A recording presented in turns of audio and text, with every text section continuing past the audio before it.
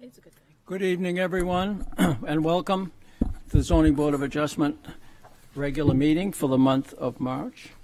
And uh, this evening, we have a couple of announcements uh, right up on the top of the meeting regarding the uh, agenda for this evening. Uh, Excuse me. Uh, One is that the uh, request re- relative to a project over in Raynes Avenue area has been uh, requested to be postponed. And that is at the, specifically the appeal of Duncan MacCallum, the attorney for the appellants, which is a group of citizens, uh, residents, of the December 20, December 16th, 2021 decision of the Planning Board for property located at 31 Raynes Avenue, 203 Maplewood Avenue, and 1 Raynes Avenue. It will not be heard this evening, hoping no one's come just for that. Uh, be- Due to a stay order issued by the Superior Court. In other words, it's not before this board, and I wish I could tell you if it will ever appear before this board, but at this point, we simply do not know. So uh, if anyone ever wants to know the status of something like that, uh, you're welcome to call City Hall, ask for the Planning Department, and they can fill you in on what it is. So that is uh, uh, on indefinite hold as far as this board is concerned. Uh, Secondly, excuse me, we have a request to postpone a couple of things, which we'll get to in a few minutes. But meanwhile, let me just go through the uh, procedure for this evening, and I'll start out by asking Mr. Stith of the Planning Department if he would explain the uh, participation by uh, people for the, via the Zoom technology. Thank you, Mr. Chair. Uh, For those participating on the Zoom call, if you would like to make a comment during any of our public hearings tonight, um, please use the raised hand icon, and we will call on you and then allow you to speak and make your comments uh, for that public hearing. Thank you very much. Uh, We'll take things in order on the agenda, and the first order of the business on the agenda this evening is approval of minutes. And before we go into that, let me just explain briefly the uh, rules of the road, as it were, that we conduct, under which we conduct this uh, evening's business. Uh, When someone has a petition or a request or a case, however you want to phrase it, to present to the board, they'll come up, state their name and address, and uh, present, and in 15 minutes or less, uh, present the case. If 15 minutes is, seems to be insufficient, we ask that people request an additional five minutes before they begin speaking. That's just to keep uh, everybody on the same page with, as, with respect to the length of uh, deliberation. Uh, after the after the board has ans- asked any questions, if we have any, I'll ask for people to come up in order. First, those who are in favor of the proposal, limited to five minutes. Secondly, those who are opposed to the proposal, limited to five minutes. And then the last call, which is two for or against. If someone wishes just to address particular points, but they're not arguing for or against it, they can come up at that time. And those comments are without limitation on time, except that we obviously ask people to be pertinent and as specific and as succinct as you can with, re- with respect to the uh, comments that you have for the board. After that's all done, we'll close the public hearing, and then we'll take a vote. And that's, and the vote can be up, down, or up with stipulations, or postponement, which we try to, which we try to avoid. So that's the, that's the procedure. And I'm going to ask Mr., uh, no, I- no, I think, no, I take that back. I'm going to go right to the uh, minutes, which is on the agenda. And that, the first set of minutes we have for us is for February 15th, one month ago.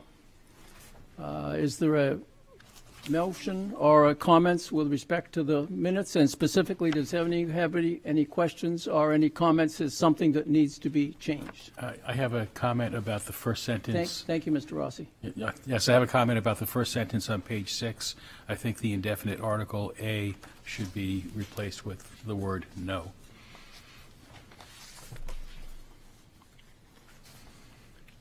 Okay, which, which page you on again, please? Six? Page six. Yep. Would you read it as, as you think it should? She said it failed on a few things, including that there were no special conditions of the property that rendered that there was, and it says A, but I think it should say no fair and substantial relationship between the general public purpose of the aven- uh, ordinance, et cetera, et cetera. Okay, thank you. Good catch. Anybody, have any comments on that? Okay. Any, anything else from anybody? No? Is there a motion to uh, approve the minutes as amended by that comment? So moved. Thank, thank you, Mr. Lee. Uh, Second to that motion, Mr. Rossi, thank you. Those in favor, a voice vote will do. Please say aye. Aye. Aye, thank you. Okay.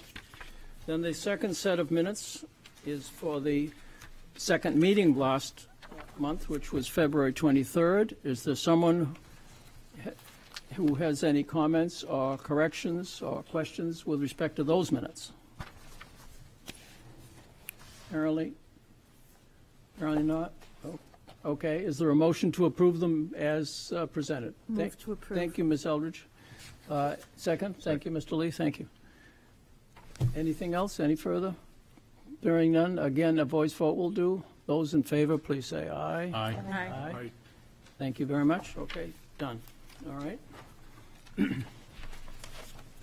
Now, that takes care of th- those items on the agenda. We have another announcement this evening, which will catch some people by surprise, I'm sure. We have a request to postpone to next month the appeal of a planning board decision with respect to property at 1 Congress Street.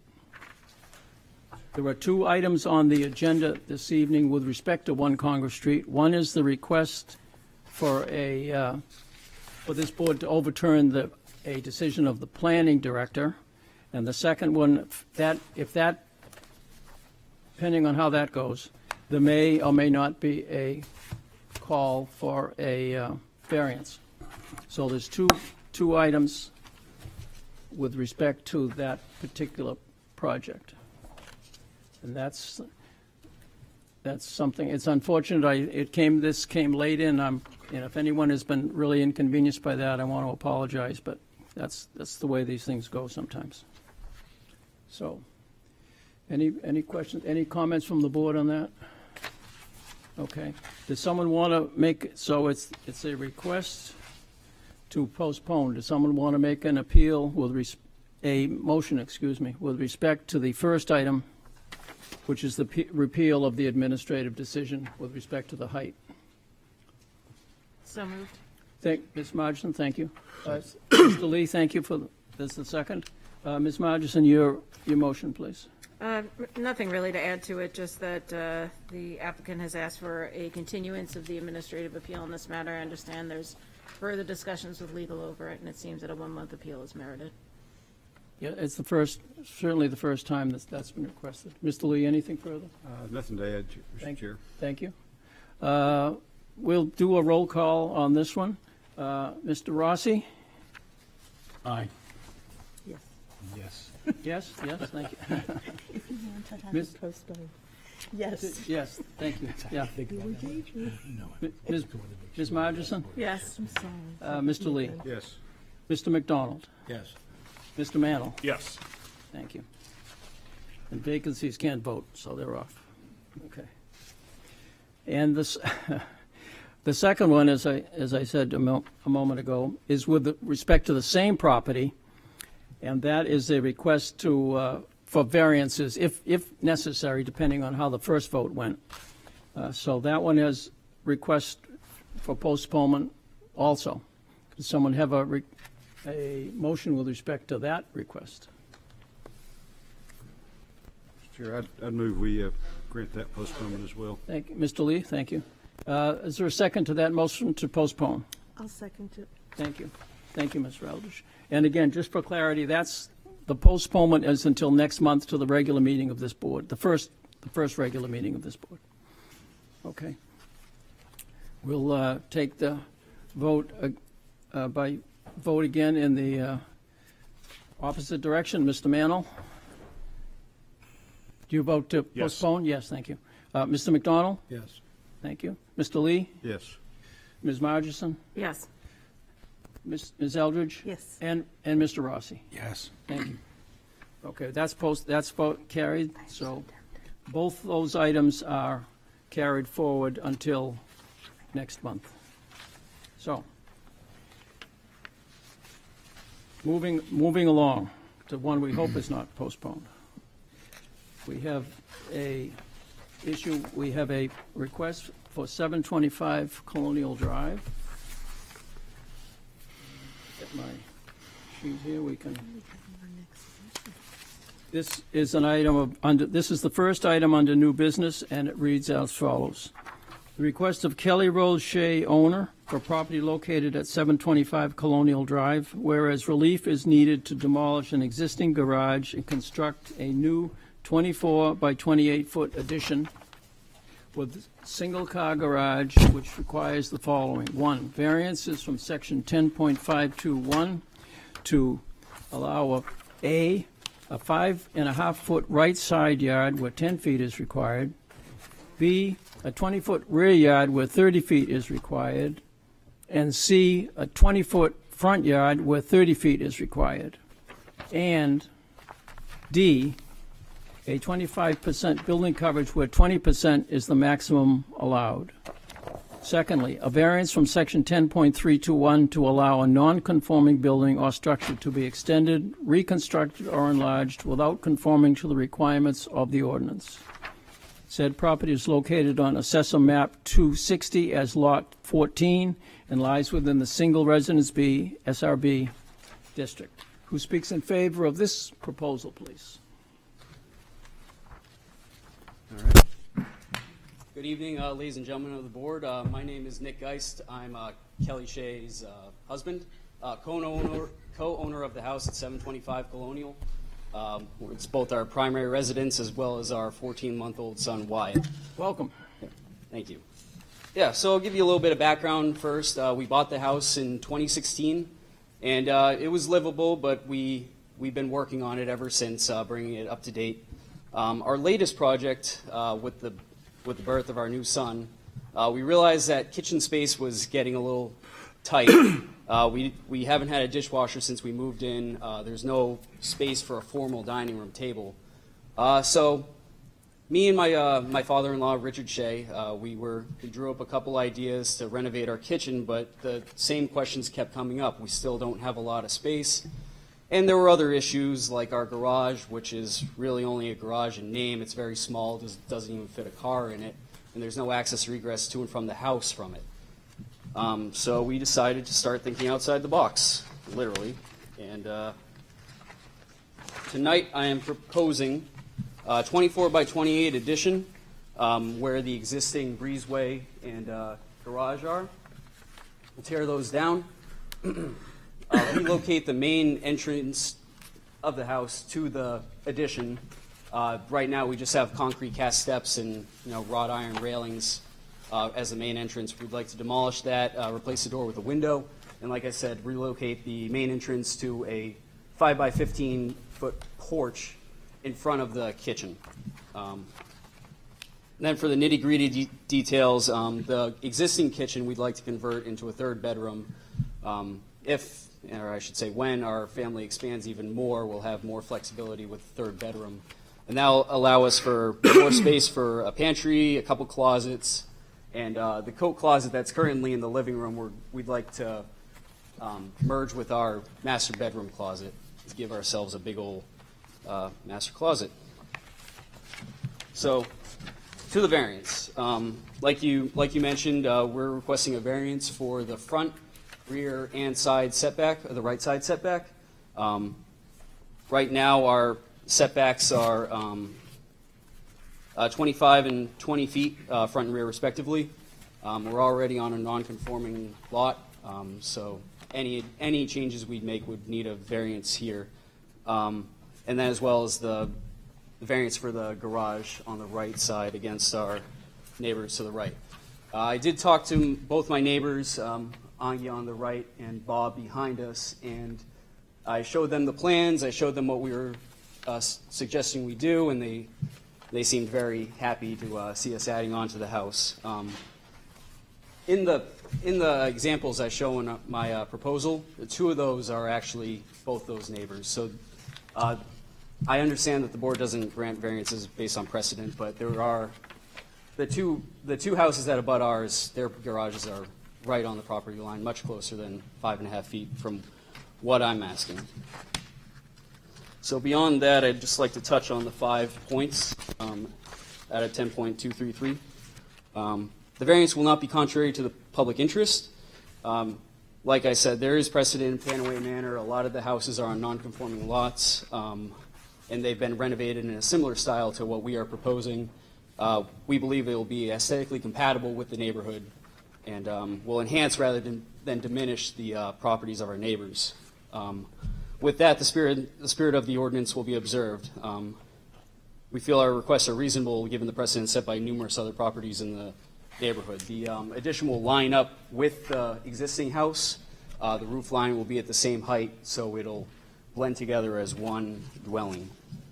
Uh, substantial justice will be done. Um, I can safely say our family's quality of life will greatly grow from this addition. Um, like I mentioned before, our current garage doesn't provide access or egress to and from the house. This addition will provide that. Um, it's growing challenging to move our son in and out of cars, especially when the weather's foul. Um, and this, from a safety standpoint, it'll be much easier to to tackle the logistics of moving around a 14 month old, um, as well as open up our house to, uh, yeah, a bigger dining room, bigger kitchen. Um, I'll be able to host Thanksgiving and not be embarrassed by people sitting on the couch, that kind of thing. Um, and then the additional bedroom, like I said, when our family inevitably grows again, we'll have space for another bedroom. Values of, our, of surrounding properties will not be diminished. I'd argue the opposite. Uh, we're going to be dumping quite a bit of money into this addition, and it will certainly raise the value of our house, which I believe would would uh, benefit the surrounding neighborhood. Um, like I said, there's been a lot of renovations in that neighborhood lately. Uh, one of which was my our grandfather, who lives at uh, 712 Colonial Drive, or no, I'm sorry, 412 Colonial Drive. A very similar addition to ours, added on a garage right off the side, and uh, his house looks great. Um, and then literal enforcement of the provisions of the ordinance would result in an unnecessary hardship. Um, if if this is variance is denied, um, then we can't create more space. Um, like I said, our house is already within the allowable setbacks. It's of the uh, of the uh, code. Um, so we wouldn't be able to add anything. We'd be back to square one, uh, renovating a kitchen with not a lot of room to work with. Um, like I said, with our house being on a non-conforming lot, any change to our footprint would require a variance any- anyway. So in conclusion, um, this addition would greatly help our family and uh, help us continue to be happy residents of Portsmouth and especially Pannaway Manor, uh, where we hope to grow our family even more over the coming years. Um, I'd like to thank the board again for your time and consideration in uh, reviewing this proposal. Thank you. Thank you very much. Uh, Any questions, before you leave, any questions from the board? Mr. Mannle? Yes, um, thank you. Um, Very nice. I've noticed in the drawings that the current garage, you're getting rid of Yes, and building a new one on. correct. Correct. Okay. What is the current, what is the setback currently for the, the garage that's right now? It's greater than 10 feet. I believe Okay, it's so you don't need a variance for that? Correct, yeah. Okay. Yeah. I was believe it? it's about 14 feet. Okay, thank you. Any, any anybody else? Ms. Margeson? So I note that the, this is a, a very small lot in comparison to what is the minimum allowed for the single residence B, which is fifteen thousand, but the, um, so I understand it's a tight space, but your right yard setback is going from eighteen feet to five point five, and that's a significant reduction. Um, and again, the building coverage is going from seventeen percent to twenty-five percent, when twenty is, percent is the maximum allowed. And that again is a, you know, on such a small lot is such a significant, um, is such a significant increase. So in terms of the breezeway and the kitchen, expanded kitchen and the garage, what is really mostly accounting for that increase in the building coverage? Well, both the uh, garage and the kitchen, they're both 14 by 24, so they're, I'd say they're, they're both equally contributing to that. We had bounced around ideas, varying, varying the size of the kitchen, varying the size of the garage, trying to find a happy medium, because like, of course, I don't want to be right up on, on the property line. Uh, there is a, privacy- there is a privacy fence on that side, which helps with the barrier. Um, so that, we, we felt that the uh, 24 by 28 was a good balance between what we're looking to accomplish from this uh, project and uh, observing the spirit of the ordinance. So the garage is bigger than the current garage? It is, yes. You'll be able to fit a, fit a car and Okay, thank you. With regard to. else? uh, Mr. yes, Rossi? Yes, with regard to the uh, setback, it looks from the diagram, just correct me if I'm wrong on this, that on one side of the addition, you're almost at the 10 feet, and at the other side, like at the top there, you're just at about the 10 feet that you- that's required. So really, the problem here is that the lot is angled, and that's why it goes down to five and a half feet, correct? Correct, yeah, we're on, Yeah. we're on the corner and it is an abnormally, abnormally shaped lot. Yep. Very good. Okay, thank you. Any, excuse me. Any, anybody else? Anybody else on the board? Any more questions? No? Okay, thank you very much. Is there anyone present who'd like to speak in favor of this proposal, please? Please come up, and give us your name and address if there is someone who wants to speak in favor. Seeing nobody, uh, is there anyone who wants to come up and speak in opposition to this uh, proposal? Any, anyone? Okay, last call, two for or against. Any speakers at all? Any speakers on this at all? Apparently not. Anybody on the Zoom? No one on the Zoom. Nobody on the Zoom, thank you, okay. All right. What's your pleasure, board? Any comments or a motion if someone is so inclined?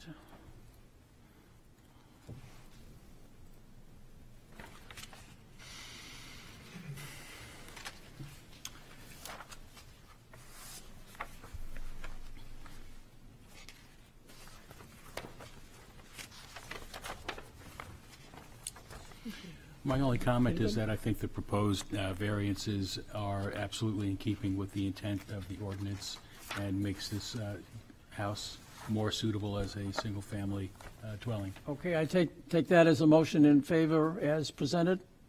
Yes? Yes. Yes, thank you. Not, not to put words, no.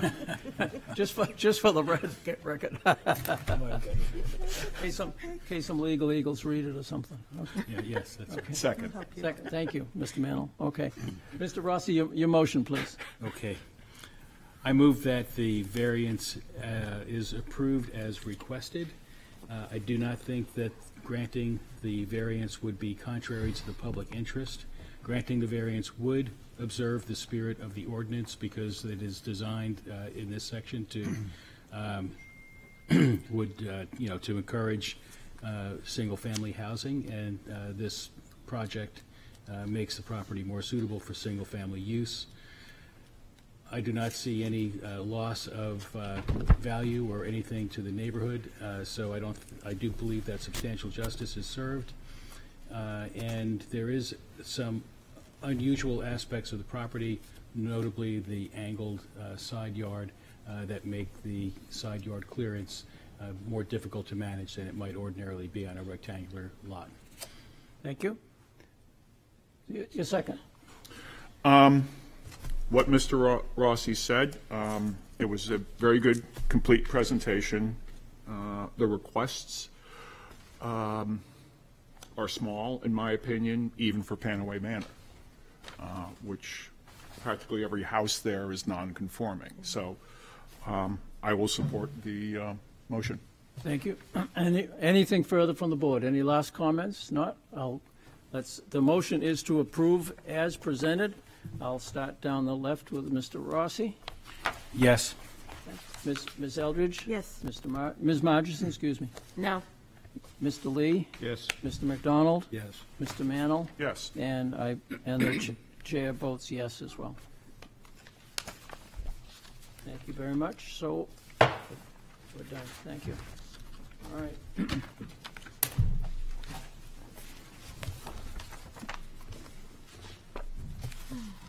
All right. Moving right along to uh, the next item on the agenda. As I can get my pile of paper shuffled here.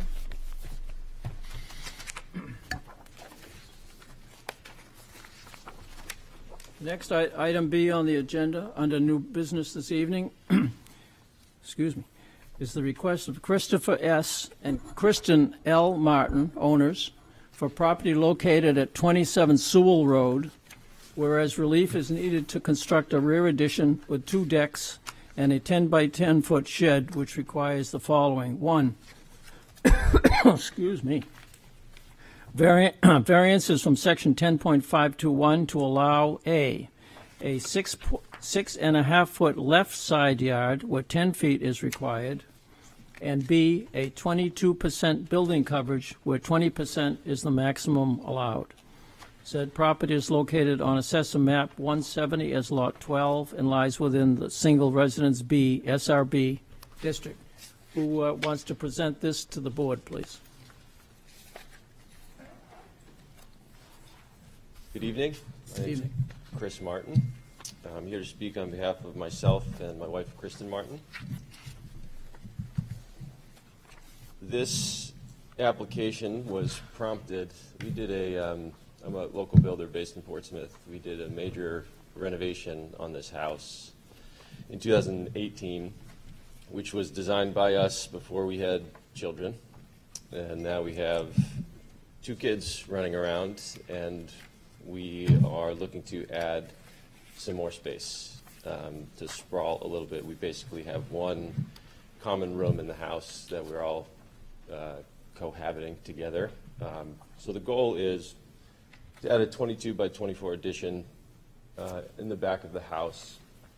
That would allow us to um, on the floor plans it shows, it allows us to have a, a kitchen and/or dining room table, multi-use eating area uh, that kind of overflows into a living space. Right now, we have just a kitchen and kind of a sitting area. So that would be the purpose of the addition. The two decks, this addition displaces the current deck that's right in the middle of the house. And so we were hoping to add a deck on either side with an egress out to get kind of symmetrical flow to the use of the backyard and the play space for the kids. Um, The shed is crucial for us as well because we have everything that would need to fit in a single bay garage plus our entire lives because we don't have a bulkhead to our unfinished basement. So it is very congested and we're hoping to get added space for lawnmowers, snow blowers, rakes, bikes, etc. Um, in essence, this proposal is to get more living space for our family and more usable um, storage as well. Uh, to jump into the five points, um, I'll, I'll add one more thing actually. Similar to the last application, the, the relief that we're looking for is the south side side yard setback. We are intending on keeping the same plane as the existing house, so we're not proposing to uh, encroach any more than the, the plane of the existing house, I guess. The lot is tapered, so where we have, I believe it's an eight-foot setback on the house, as the lot goes towards the backyard, um, that plane just, it, it, it crunches that dimension a little bit, and that's where the, it's actually six point eight um, that side yard setback, uh, that's where we're asking for relief there. Um, The variance is not contract to public, uh, contrary to public interest. Um, We've talked to almost all of our neighbors. We, in this neighborhood, we have a lot of abutters. We share a fence with six other properties, just because a lot of them corner out to our, our lot. We know them all well. We've talked to them all. Everyone is in support of this addition that we've spoken with. And um, I think that we are all in agreement that this will be aesthetically pleasing and um, kind of jumping into the second category of the spirit of the ordin- ordinance is observed, I think that there are many similar additions uh, in this neighborhood. Um, This, this, this style um, of a single-story addition is very common in the surrounding properties. Um, Substantial justice is done. Um, The purpose of this addition is, is just to get more living space um, for our family uh, as we continue to live and grow in this, in this neighborhood. Um, I believe that the surrounding properties will not be diminished. I I think that they'll be improved. I think this will improve home values in the neighborhood. Um, And the little enforce, little enforcement of the ordinance would result in unnecessary hardship. Um, This proposal, this layout, um, the flow of the addition is, it, it leans itself to have a deck on either side of it, and clearly that's what will, will put us over our lot coverage and is what is pushing us into that side setback request as well. Um, I think that, you know, if this was a more square lot, if this lot was 15,000 square feet, we would be under in both categories. Um, So I believe that this is a, a fair request. If there are any questions, I'm happy to answer them now. Thank you. Any questions from the board at this point? Any questions? No, apparently not. Thank you very much. Is there anyone present who would like to speak in favor of this proposal? Anyone in favor? Please come up. No? Seeing nobody? Okay. Anyone wishes to speak in opposition to this proposal? Anybody? Anybody? Zoom? No? Okay. Eh, Last call for speakers, two, for, or against. Anybody have anything to say at all to add to this proposal as presented? Uh, Apparently not, okay. Pub- Public hearing is closed, thank you very much. What, you- uh, does anyone have a comment on it, or perhaps, or perhaps a motion?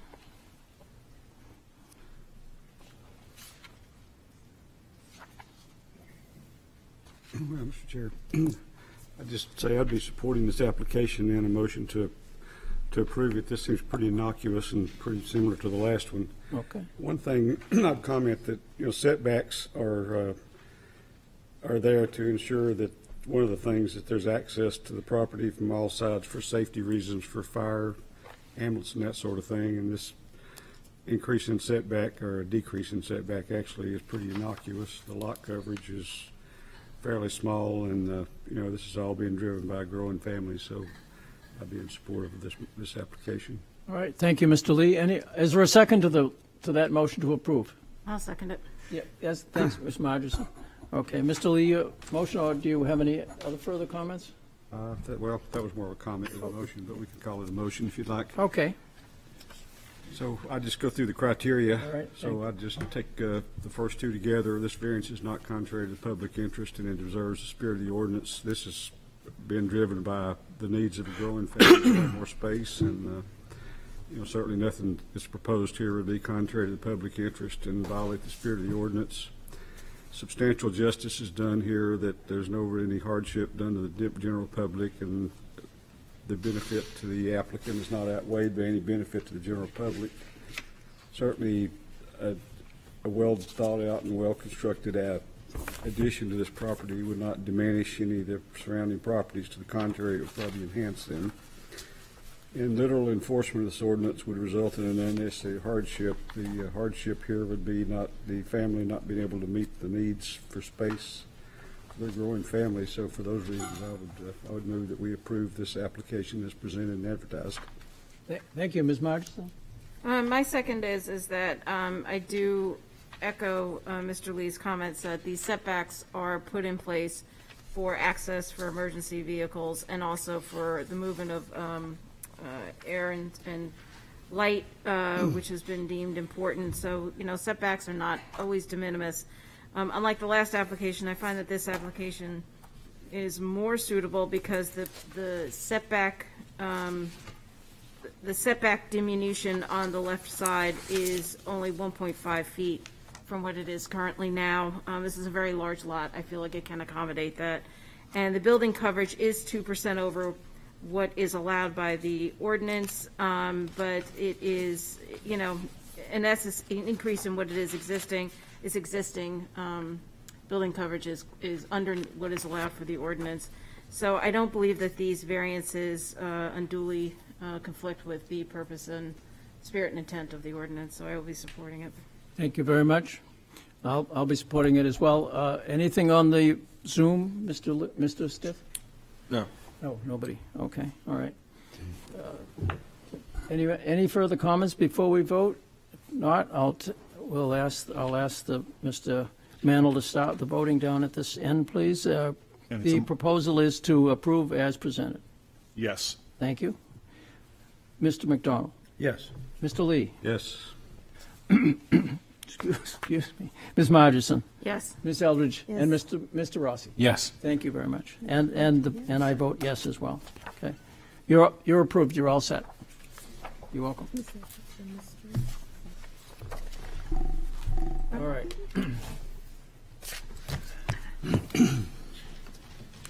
All right.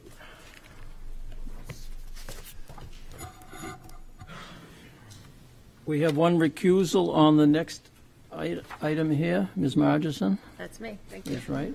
Is that still a recusal? Yeah, okay. Best friend. Oh, but I'm just acquaintance. The next uh, item on the agenda is for 189 Gate Street. And the, get my script here. And the uh, item reads as follows. The request of, and please correct my pronunciation of names or any other words that I mispronounce. Request of Nerbonne Family Revocable Trust owner for property located at 189 Gates Street, whereas relief is needed for conversion of the existing garage into a garden cottage with a 12 by 16 foot addition and a 6 by 14 foot deck, which requires the following. One, variances from section 10.521 to allow A, 35.5% building coverage, where 30% is the maximum allowed, and B, a one-foot right side yard where 10 feet is the minimum. Secondly, a variance from section 10.321 to allow a non-conforming building or structure to be extended, reconstructed, or enlarged without conforming to the requirements of the ordinance. Said property is located on Assessor Map 103 as Lot 6 and lies within the General Residence B, GRB, and Historic Districts. Who, who wishes to present this case to the board, please? Your name, and your name and address, if you would. Kelly Sanders, 189 8th Street. Uh, I'm just going to start, and then um, Ann is going to take over. So uh, I'm Pat and Judy Nerbonne's daughter. Uh, I recently took an early retirement, retirement, and I'm residing at my parents' home at 189 Gate Street because my father has Alzheimer's disease. He currently needs supervision. My parents are requesting this variance to convert their garage into a garden cottage for family or caregivers so they can age in their home. I'd like to highlight a few key points regarding our request. Um, My father's neurologist, Dr. Kent Logan, wrote a letter speaking to my dad's Alzheimer's diagnosis. He highlighted how important it is to provide a secure family home environment with family and friends nearby, which remarkably reduces the likelihood of the symptoms um, of Alzheimer's that my father's facing. This plan would allow our family to provide support for both my parents as they age and need more significant care. Additionally, Nancy Eichner, an elder care professional with years of experience, wrote in a letter um, of- supporting the plan. She's the president of the Seacoast Village Project, a local nonprofit organization that provides um, that promotes aging in place and provides resources to aging Seacoast residents. She knows my parents, and she stressed the importance of a plan that provides a close and affordable living space for family members or caregivers. Uh, I believe you have copies of both of those letters. Uh, And then the third point I wanted to make was that my parents have done extensive research and planning regarding this next phase of their life. They looked at options for moving to a different home situation. They looked carefully at the costs associated with round-the-clock in-home care for two retired teachers on a fixed income. They also investigated different options for building something on their property. They consulted experts, including several people in the city planning department, to see what would be most feasible for their property. And that's how uh, we landed here with this plan this evening. Um, I'd like to thank you for your time and consideration of this plan uh, that will allow our family to support my parents' desire to age in their home and community that they love so much. And I'm going to ask um, Ann to now come to speak specifically about the plan.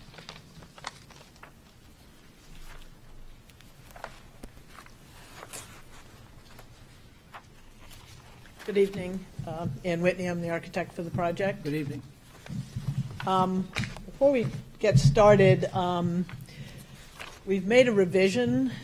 Um, We got feedback and from the uh, closest abutter uh, on Monday, and I took a look at it, and I, the, I've got uh, copies of the revision here, and I would um, like to hand those out.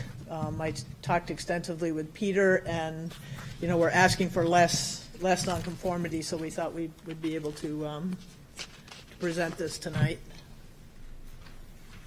We can, we can pass them down. Thank you. I think I've seen these, but go ahead. Go ahead. Yeah. So, And I also have an additional abutter letter. You- you Start down there, thanks. Thank you.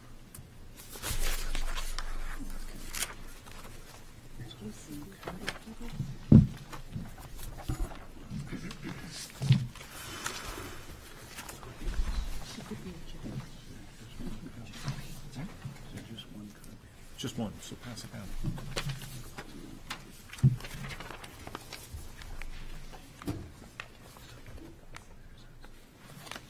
Has everyone got a copy? Yes. Okay, so um, this revised plan, um, there were some concerns about how close um, the addition was to the property line. You know, anything adding on to that back of that garage would, would definitely be non-conforming. And also the size of it. So what I've done with this plan is uh, shift the, shift the addition away from the property line and downsize it. So we're ending up with a 10 and a half by 14 and a half addition instead of a 12 by 16 addition, which pushes that side setback to four feet as opposed to just over one foot. Um, And then downsize the deck, you know, in addition to that. Um, I think if you go to page two of three, you get a better sense. Um, Well, actually, let's look at that site plan for a bit. Um, There are not a lot of options to be able to, you know, add other structures on this property. We're abutting the uh, Graves um, Cemetery, which has a 25-foot setback, which is also the, you know, zoning setback, but it's one of those that you can't get any um, relief from because of the proximity to the cemetery.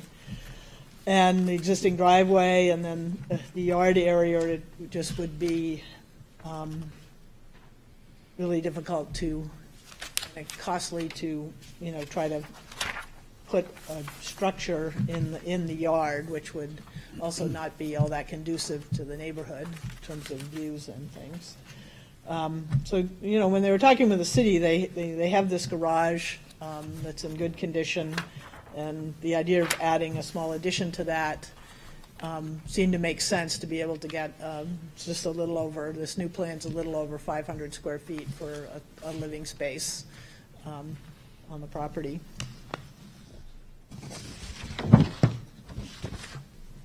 You go to the, and also on that revised plan, I've dashed in the location of the, uh, of our original proposal, so you can compare that. You go to the second page, um, shows that elevation that's um, against the property line. Because we're changing the use, um, the existing garage, that wall would have to be, uh, we'd have to re-side it and uh, make that a one-hour firewall, so that would take care of any sort of fire concerns. Um, I'm showing the addition with a possible um, transom window, that, that that doesn't have to be there. There was some concern about just looking at a blank wall, and I thought that might break the wall up a little bit. And then, um, so that steps back. The height, um, Portsmouth measures building height to the middle of the, of the gable. Um, So the height of the garage, at sort of the worst-case scenario, is a little plus or minus 18 feet. The height to the peak is um, 22.5.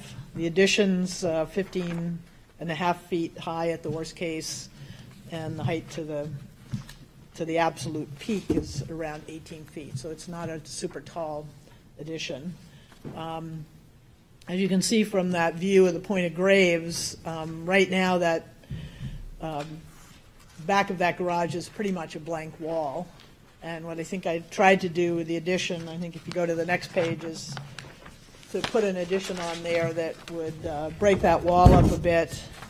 And if you go to page three of three, the rear elevation, can see it shifted over. And I reduced the pitch to minimize the height, so it's not matching the pitch of the existing garage. So we're feeling like this is a, a small addition um, and is in keeping with, um, keeping with, you know, the scale of things. If you look at that um, on page three of three, Point of Graves, almost all the buildings there have additions, fairly tall um, uh, existing structures, and then with additions that step down towards the rear yard.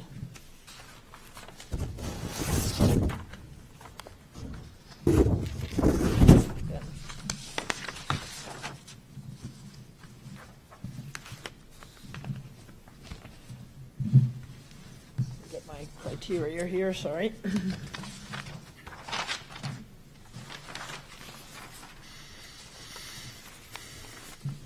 So our, um, there was a revision from, uh, that Peter caught from my original proposal, because I had, this, the ex- existing house has got these really high brick walls that are stick out from the foundation, and I'd included those as building coverage, and he didn't think we needed to do that. So, um, right now, with this new plan, we're at a building coverage of thirty-two point five percent, where thirty percent is allowed, and a right side setback of four feet where 10 feet is required. Um, Again, the existing garage is non-conforming on that right side property line, and so any addition would probably be requiring side yard setback.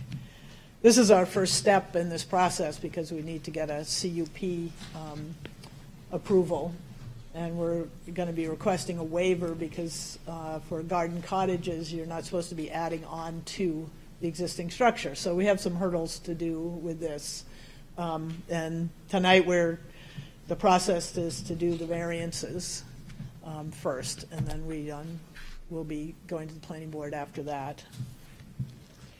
Um, Variances are not in contrary to the public interest that many properties in this neighborhood are non-conforming to building areas and setbacks. Um, Public view of this structure from the Point of Graves, I think, um, will be enhanced by this small addition, kind of breaking up that blank wall. And the variances are consistent with the spirit of the ordinance that allow this allowed change in use with the addition, which is in context with the neighborhood, and that's more, the addition is in context with the neighborhood. We're not really talking about the use here, even though we are changing the use. Substantial justice will be done as this work will allow the owners to add this dwelling unit for family and/or live-in help without adversely affecting adjacent properties. Um, We feel that, you know, given the nature of this neighborhood where everybody's pretty close together, this small addition isn't going to drastically, I guess the, the hardship to the Nerbonnes is, is greater than the the- what this small addition would do to the abutting property. And I know we- there's a disagreement about that, and you'll be hearing that. But that is our feeling. Um, The variances will not diminish the value of surrounding properties. Um, I don't see that. Um, Properties in this area are extremely hot these days, and, you know, an attractive addition on a property isn't really going to, to change, change the value of it. And the special condition of this property is the nonconformity, conformity of the existing garage. Um, Are there any questions?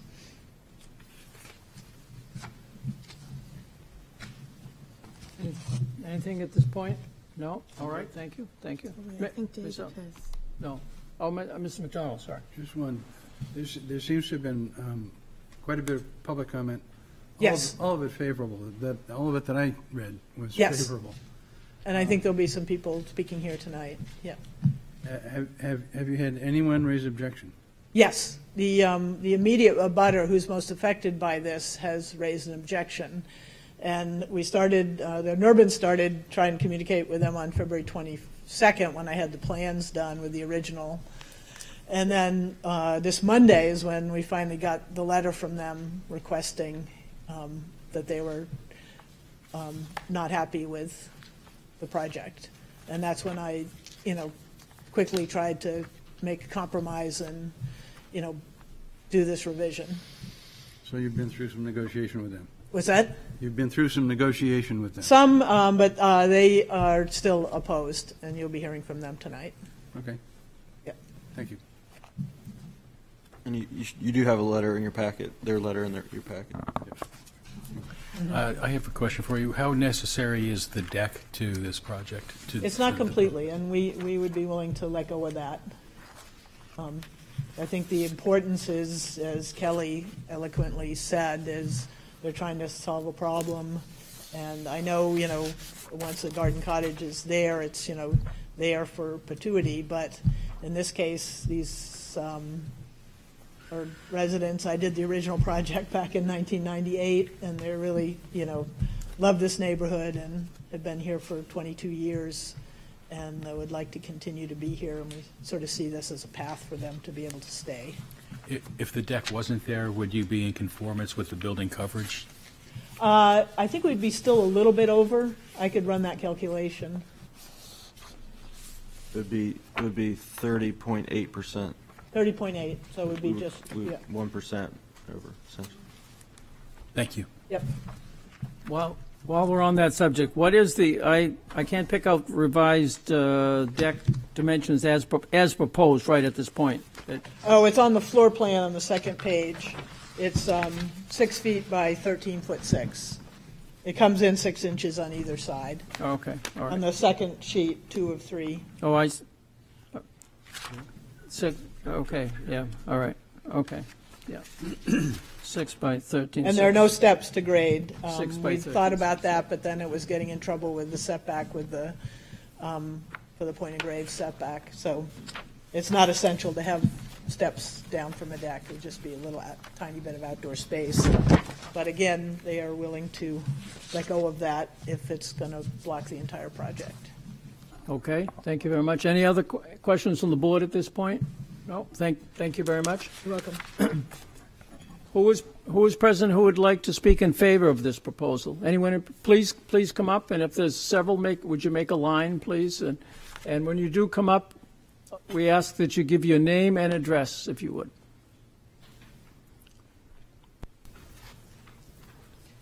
Good evening. My name is Linda McVeigh, and I live at 42 Hunking Street.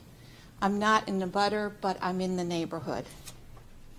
I'm here tonight to speak in favor of the petition by the Nerbonne family to modify their garage to be an unattached dwelling. We live in the neighborhood that has a high number of older families. The biggest concern facing older families today is to be able to age in place. Many of us have lived in the South End for years and fear having to leave our homes if we or our partners become ill. I faced that two years ago. I applied to build an addition onto my house to accommodate my husband who had become very ill. We were granted permission to build the addition and we were grateful every day until my husband died that we didn't have to sell our home at such a difficult time in our lives. We felt supported by our neighbors and our community. This situation is one that eventually we will all have to face. The Nerbonnes are asking to modify an existing structure. It's an improvement that will add value to their property and therefore add value to the neighborhood. The modification will allow the family to age in place. It's my hope that allowing them to make this modification will show how our community cares for our older citizens. Thank you. Thank you. Who else would like to speak in favor, please? Hello, my name is Carol Burke. I 170 Mechanic Street. I'm here to support the peti- petition of Judy and Pat Nerbonne. Although we are not direct abutters, we have been through the board process ourselves a few times and watched many neighbors go through it, so we certainly understand what they're going through. Um, We hope this will enable the Nerbonnes to stay in their home. Pat and Judy are the type of neighbors that anyone would love to have. They're involved in many committees and events, and they lend a helping hand wherever it's needed. The rationale for their request is not unusual. An addition was approved for a similar house, which Linda just mentioned on Hunking Street, um, in similar circumstances, and there will likely be more as we all desire to age in place. The south end itself is notoriously tight, and many of the houses don't currently conform to the zoning ordin- or- ordinance. Um, With that in mind, I sincerely hope that this project can get the necessary accommodations to move forward. Thank you. Thank you. And next, please. Uh, My name is Pete Moran. I reside at 170 Mechanic Street with Carol. And I just, it was interesting because the two applicants prior to were talking about bringing their children into the world and into the houses and making it larger so that it could accommodate them. When I moved here 30-some odd years ago, I spent zero amount of time thinking about being here 30 years later and thinking about living in place and staying in my home. And here I am today, uh, surrounded by this type of environment, and I'm just hoping that we can, because we're looking to do the same as what the applicants are doing and several others in our neighborhood. It is a neighborhood, and it's tough to, you know, find accommodations that you can stay in place and be there for the duration, and that's the hope that I think most of us want. So I fully support this. Thank you. Anybody next? Anybody next in favor?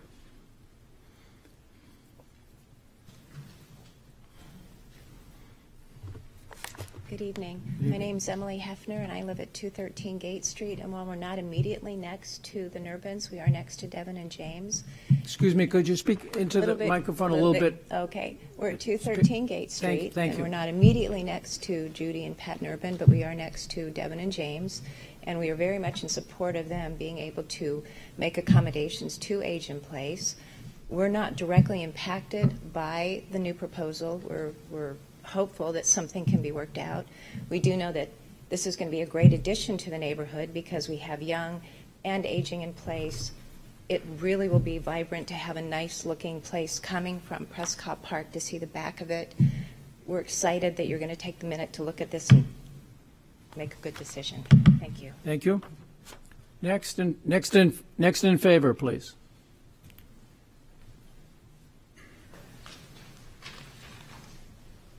My name is Kathleen Logan, 21 Blossom Street.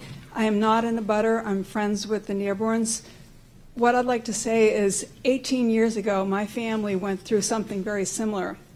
My husband has a disability, and we came before the board to request variances in order to make our home livable for him. Unfortunately, we had a very difficult experience. Ultimately, we were able to do the renovations needed, and we're still in the home, and it is working well for us. I, I know from experience that living with a disability is very difficult in a place like the South End with all these old homes. And I would like to think that 18 years after we went through our ordeal, that the city will be a little more enlightened and will do everything possible to, to make to, to be reasonable to help these people stay in their homes. Thank you very much. Thank you. Next, next in favor, any, next, anybody? Last, last call for those wish to speak in favor? Okay. Any, anybody, Mr. Ziff? No one on Zoom. Thank you. Uh, Anybody, anybody wish to come up and speak in opposition? Anybody not, yes, please come up.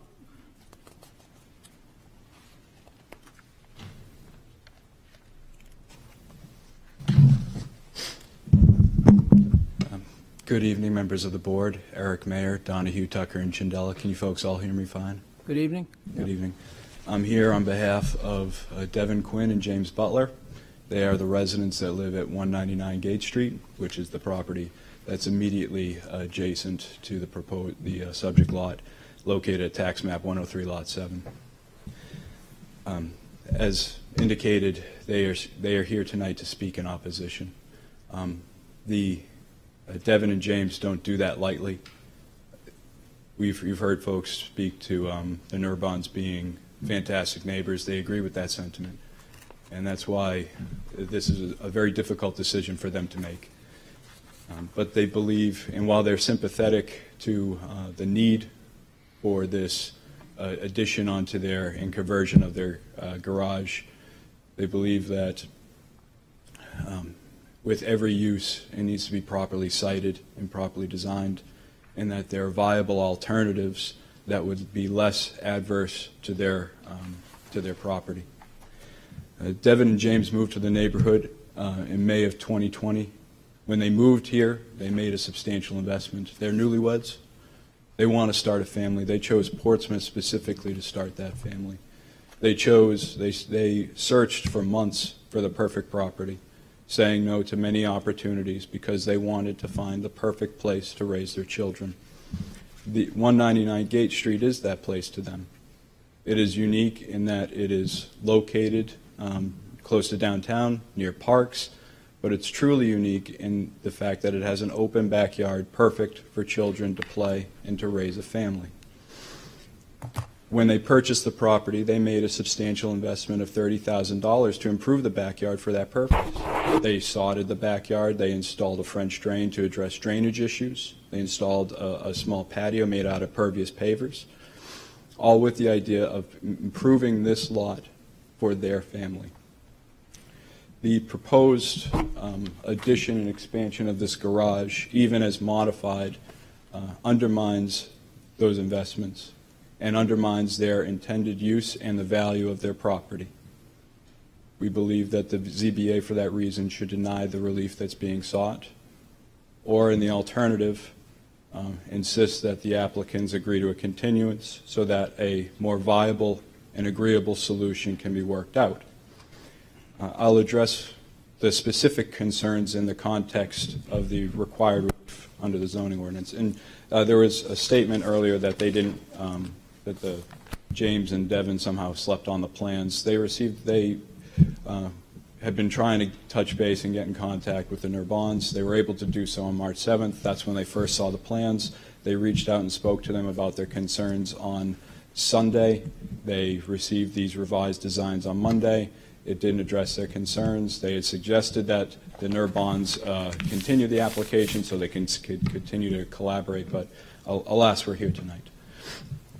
Um, there are four overarching concerns that the, that the uh, Devin and James have. Um, turning first to the um, first two criteria in the zoning ordinance, which is, is it uh, consistent with the spirit and intent of the ordinance? And would it be contrary to the public interest? The Supreme Court in this Harborside case recommended that those two criteria be considered together. And they have suggested uh, considering whether, to a marked degree, the proposed the proposal would be contrary to the ordinance. Here we believe that it would. The topography of this of this lot of the Nerbonnes property um, drops as you proceed to the rear.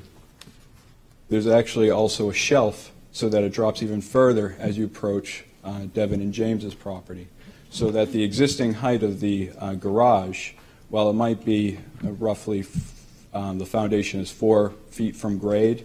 It's, it's actually higher when you're on the Devin and James's property. That garage is actually above you a little bit more than what the grade would reflect in the plans. Extending that by a measure of 10 feet means that that exposed, that exposed foundation is also going to be exposed well above six feet by the time you get that to the rear portion of their lot. This 18-foot, I believe it was represented that it would be 18 feet at its peak. That means you're going to have a 10-foot addition, 18 feet high, going into their backyard, no, no further than four feet from their property line. It is going to be a very large structure. It is going to drastically diminish the air and light that that property affords, and it's also going to cause drainage issues. Setbacks exist for a reason. Setbacks exist to ensure adequate light and space is provided. This is contrary to that by invading that the available air and light that is on Devin and James's property to a considerable degree. With regard to the uh, lot coverage, lot coverage uh, restrictions exist in order to ensure that there's enough, um, there, there's a limit on pervious coverage to ensure that there's a place for the stormwater runoff to go. That garage, because of where it's located, the drip edge is either on or over the property line. That means they're already getting a significant amount of water runoff from the, from the existing garage on their property. I've already told, I've already said that they've already invested in a French drain, and while that's mitigate, mitigated some of the drainage issues, it hasn't solved them. But this proposal adds an additional amount of surface area coming off of the back of that garage, and an additional additional amount of roof, which is pitched directly toward their property. Now, there's no proposal as to how to manage tho- that water that's going to be coming off, and it will lead to increase, because you're increasing the lot coverage, because you're increasing the impervious cover, you're going to be increasing the drainage issues that are on my client's property. For those two reasons, we believe that it's both contrary to the spirit and intent of the ordinance, as well as um, contrary to the public interest. I will note um, that in addition, that garden cottages, as was, has already been indicated, they're supposed to be built within the confines of existing structures. The zoning ordinance makes very clear that only two expansions are permitted without modification from the planning board. One is a 50-foot entrance or up to a 300-square-foot deck. The ordinance doesn't allow for a modification to allow for an expansion of the footprint under other circumstances, such as this, which is to add effectively a living room onto an existing garage. So we believe in additional ways that this proposal is contrary to the spirit and intent of the ordinance. This is, in, in actuality, a garden cottage that's, um, excuse me, a, a detached ADU that's masquerading as a garden cottage. However, what they're trying to do by presenting this as a garden cottage is get around the various restrictions that exist for detached ADUs, one of which is the requirement for them to have a certain amount of lot size, because um, if it were to consider deta- a detached ADU, they would have to have a significant, they would need an additional variance from the lot size requirement under the ordinance. Um, Turning to the substantial justice criteria, the, the test is whether the benefit to be gained by the public in the denial of the variance is outweighed by the, by the um, loss that would be suffered by the applicant in the denial of the variance. Here we believe that alternatives do exist and can exist and can be worked out between Devin and James and the Nerbonnes. But we believe as presented, they would stand to lose significantly. And because their alternatives exist, a denial of this variance tonight will not jeopardize them in their ability to go back to the drawing board and submit something that's more palatable. I will note if you look at the, the assessing card for this property, it has 3,200 square feet of gross space, only 18 of which is living space. I haven't heard any suggestion as to why, A, the existing dwelling, uh, principal dwelling could not be expanded with an addition, which would not affect um, Devin and James quite so significantly, or why some of the other additional space in the pri- primary dwelling cannot be converted to accommodate an, an attached accessory dwelling unit. We also believe, for these reasons, that there will be a significant diminution of, of value associated with this uh, proposal. Um, in fact, Evan and James, when they first got the plans last week, they reached out to um, real estate professionals. They were not able to get an opinion in time for tonight's hearing. Um, But one appraiser commented, I don't even know where I would start valuing the the diminution of value because this proposal is so unique. And the reason why it's unique is that there are very few detached or garden cottages located in quite so close a proximity to existing abutting dwellings. This is not an, uh, an addition onto an existing primary use. This is establishing a separate princ- uh, dwelling on the property in, a, and an outbuilding effectively. If you look at the neighborhood, there's not a lot of those, not, and particularly there's not a lot quite so close to abutting properties. Again, th- this is going to be located pr- approximately within 10 feet of Devin and James's home. Uh, Turning to little, literal enforcement. Yes. Uh, we- When we started, I said five minutes. Am I over? Well over. All right, can I So get one you- more minute to wrap it up? Wrap it up very quickly? You got it. Thank you. Thank you for your patience, I really appreciate it. And turning lastly to the literal, literal enforcement of the ordinance, we do not believe that there are any special circumstances of this property. A lot of the lots in this, almost all the lots in this neighborhood are subs, uh, are subsized. Um, There, there's all, there's restrictions on all of them. We believe that, that the, the, that these are, um, that there's nothing particularly special uh, in terms of the conditions of the property. And we believe that for the reasons previously stated, that this is contrary to the spirit and intent, and because there are other alternatives available, that this is um, not a reasonable use, particularly in light of the harm that it stands to um, impose on my clients. Thank you. All right, thank you. Are there other, are there other speakers in opposition at this point? Yes, uh, your name and address, please. Names? Hi, um, thank you to the board. Um, I'm Devin Quinn, this is my spouse, James Butler, And your, and your address, please? 199 Gate Street. Thank you. Um, we live at 199 Gate Street, right next to the Nerbonnes at 189 Gate Street. Um, This is our first time in front of a a ZBA, uh, which is why we sought council to help us navigate all this, but we're going to try to stick to the time limits, let us know if we do anything wrong. Um, We're here in opposition to the proposal at 189 Gate Street and want to explain our human aspect or human impact on us with concerns to the proposal as it is. Um, I grew up in Hampstead, New Hampshire. James grew up in Ohio. Um, I actually lived on Badgers Island 10 years ago, above Badgers Island Pizzeria. Uh, I always knew I wanted to come back and settle down in Portsmouth, and luckily James agreed. And um, when we were ready to settle down, our home search took about a year. Uh, we went to 30 homes. We finally found a home on Gate Street and, close on May 2020. Um, as Eric mentioned, we're newlyweds. Um, we put off but we look forward to raising a family in our home. Um, we fell in love with our neighborhood because we could walk our future family or kids to many wonderful Portsmouth resources and activities, um, but also so we could be around a lot of uh, friendly neighbors. But also we invest in this particular location because it really is um, does offer a lot of privacy um, compared to a very dense neighborhood. We have driveways on either side of our house, which give us some buffer for noise, um, and the backyard has open air and light and is moderately private. Um, if it were not for this backyard and the light and air that it offers, we wouldn't have made the considerable investment we did in purchasing it. Um, Eric mentioned we uh, uh, added a, an investment in putting grass down, um, a small garden, maybe in the future a swing set. Um, for, I, uh, for us, this community is and this neighborhood is ideal for a young family. Uh, I think we're the only other family with young with kids in the neighborhood. Um, we'd be- the second one, um, and we value this neighborhood precisely because of the di- diversity of ages. Um, we have great relationships with our neighbors, um, especially including Pat and Judy, um, and we want them to be able to age in place in their home, um, just like all of our other neighbors. We mean that sincerely. In fact, it's very much in our in our interest to do all we can to keep them uh, as neighbors, um, because they are a huge part of our community and our uh, street. Um, but we can't support this particular proposal. Um, the garage currently sits exactly at the property line, as in we use the garage wall as our property line.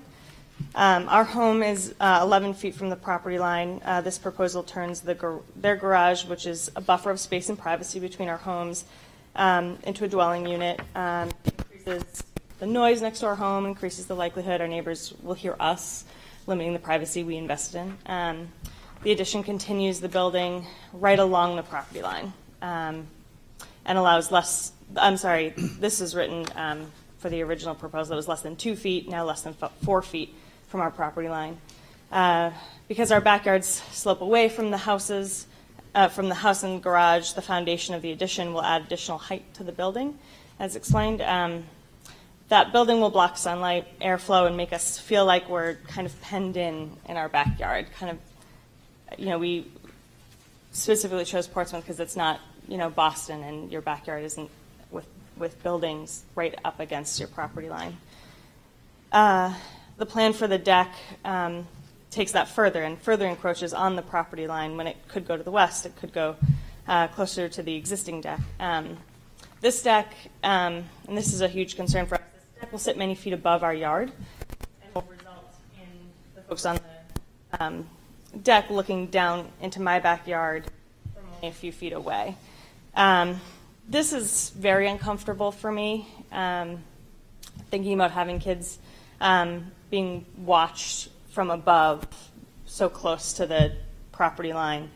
Um, and while the Nerbonnes are excellent neighbors, and Kelly, who lives there now, is an excellent neighbor, we're not.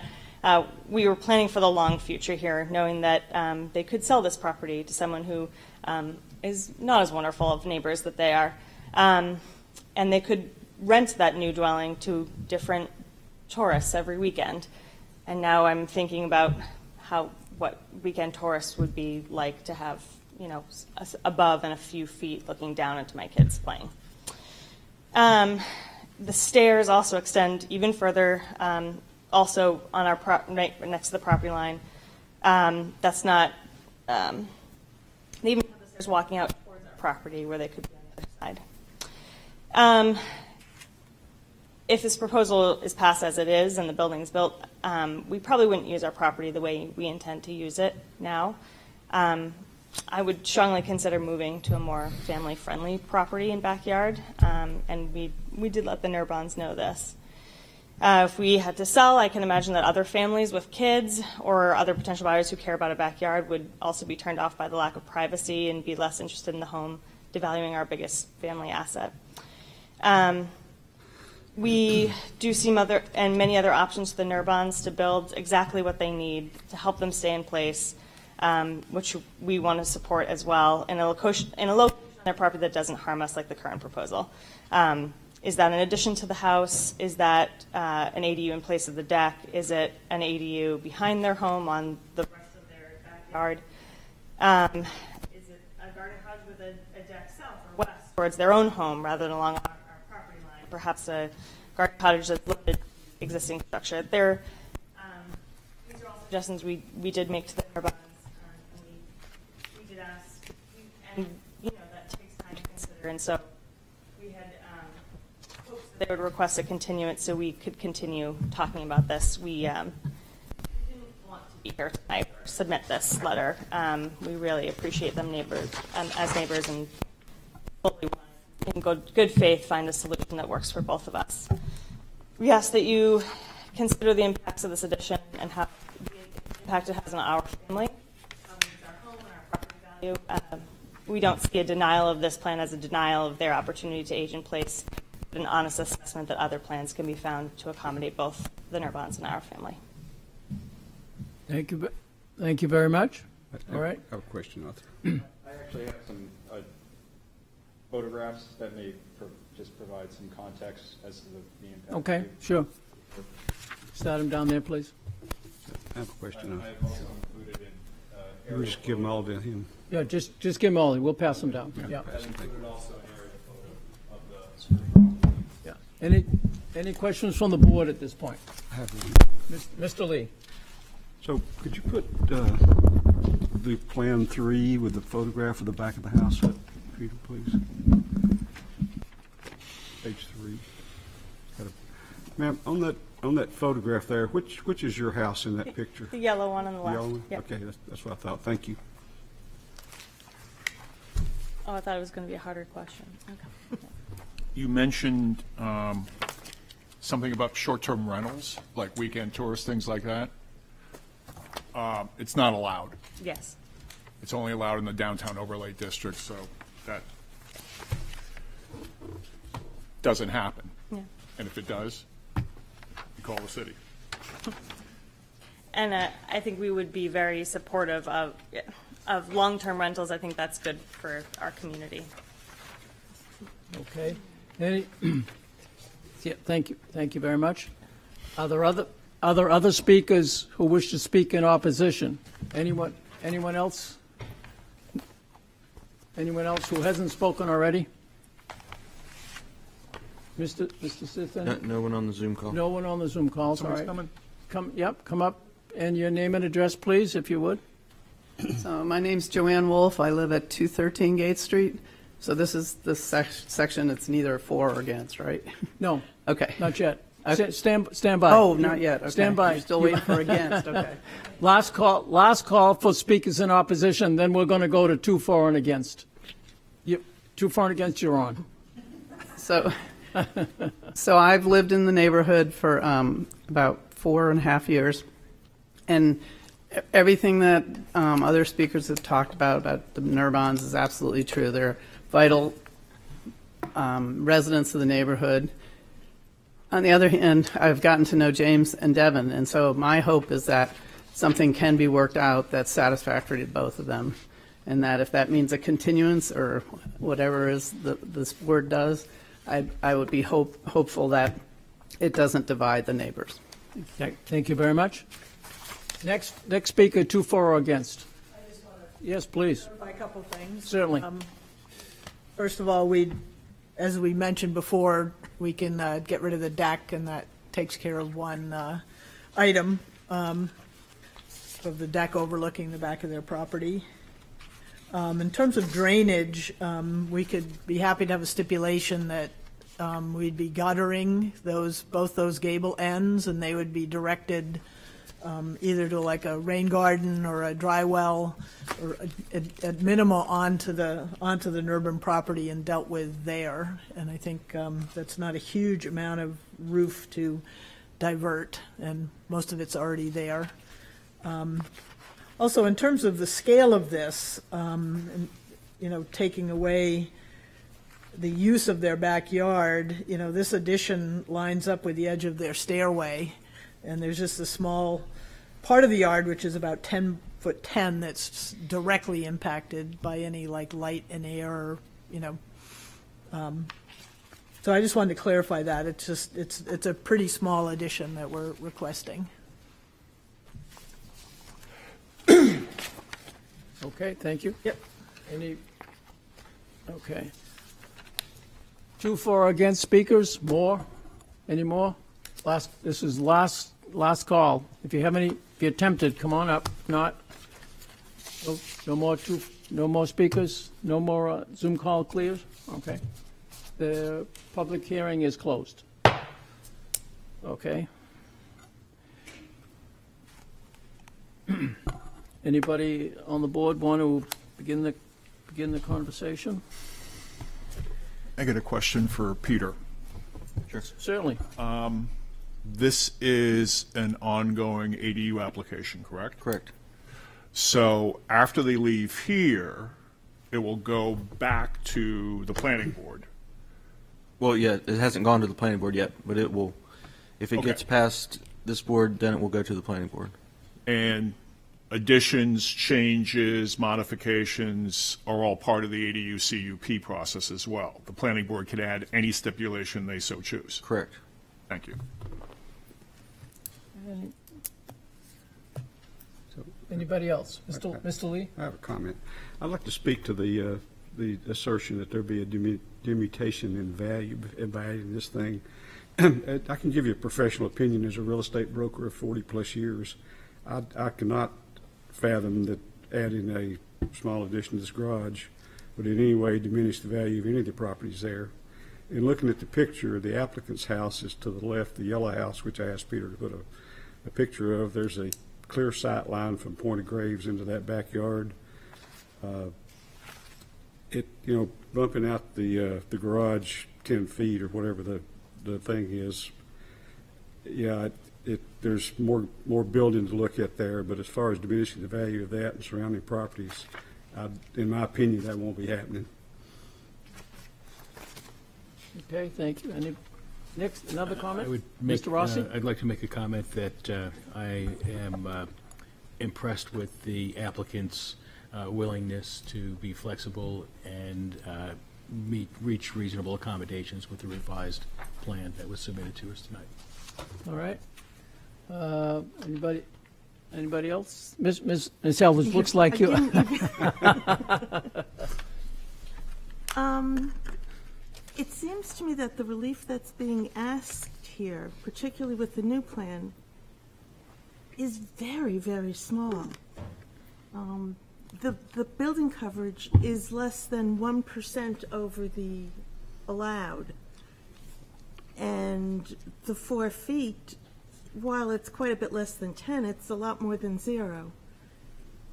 And the willingness to do away with the deck which seems to be a big sticking point, although height is not a problem. You would be perfectly allowed to, to build something of that height. Makes me think that, that this is something that I could approve. And really, one of the most important things that I heard is that the back addition will go no further than the steps which leaves a backyard of about 35 or 40 feet to the point of graves? 30 feet. That's a big backyard um, with lots of open air and light. And I, I just, I don't see that this diminishes their ability to use the yard, particularly without the deck, which I know was very problematic. Um, so I would be inclined to vote for it. However, I am not completely convinced that there's a hardship here, that there isn't another place that this could be. And so I would like to hear from my fellow board members, because I don't know how to do that part of the. Yes, thank you.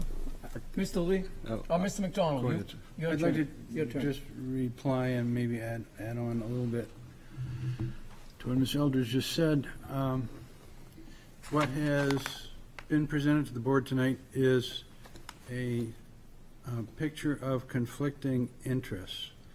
There's one party that has a young midlife interest, and there is another party that has an end-of-life interest. Those two interests are in conflict. And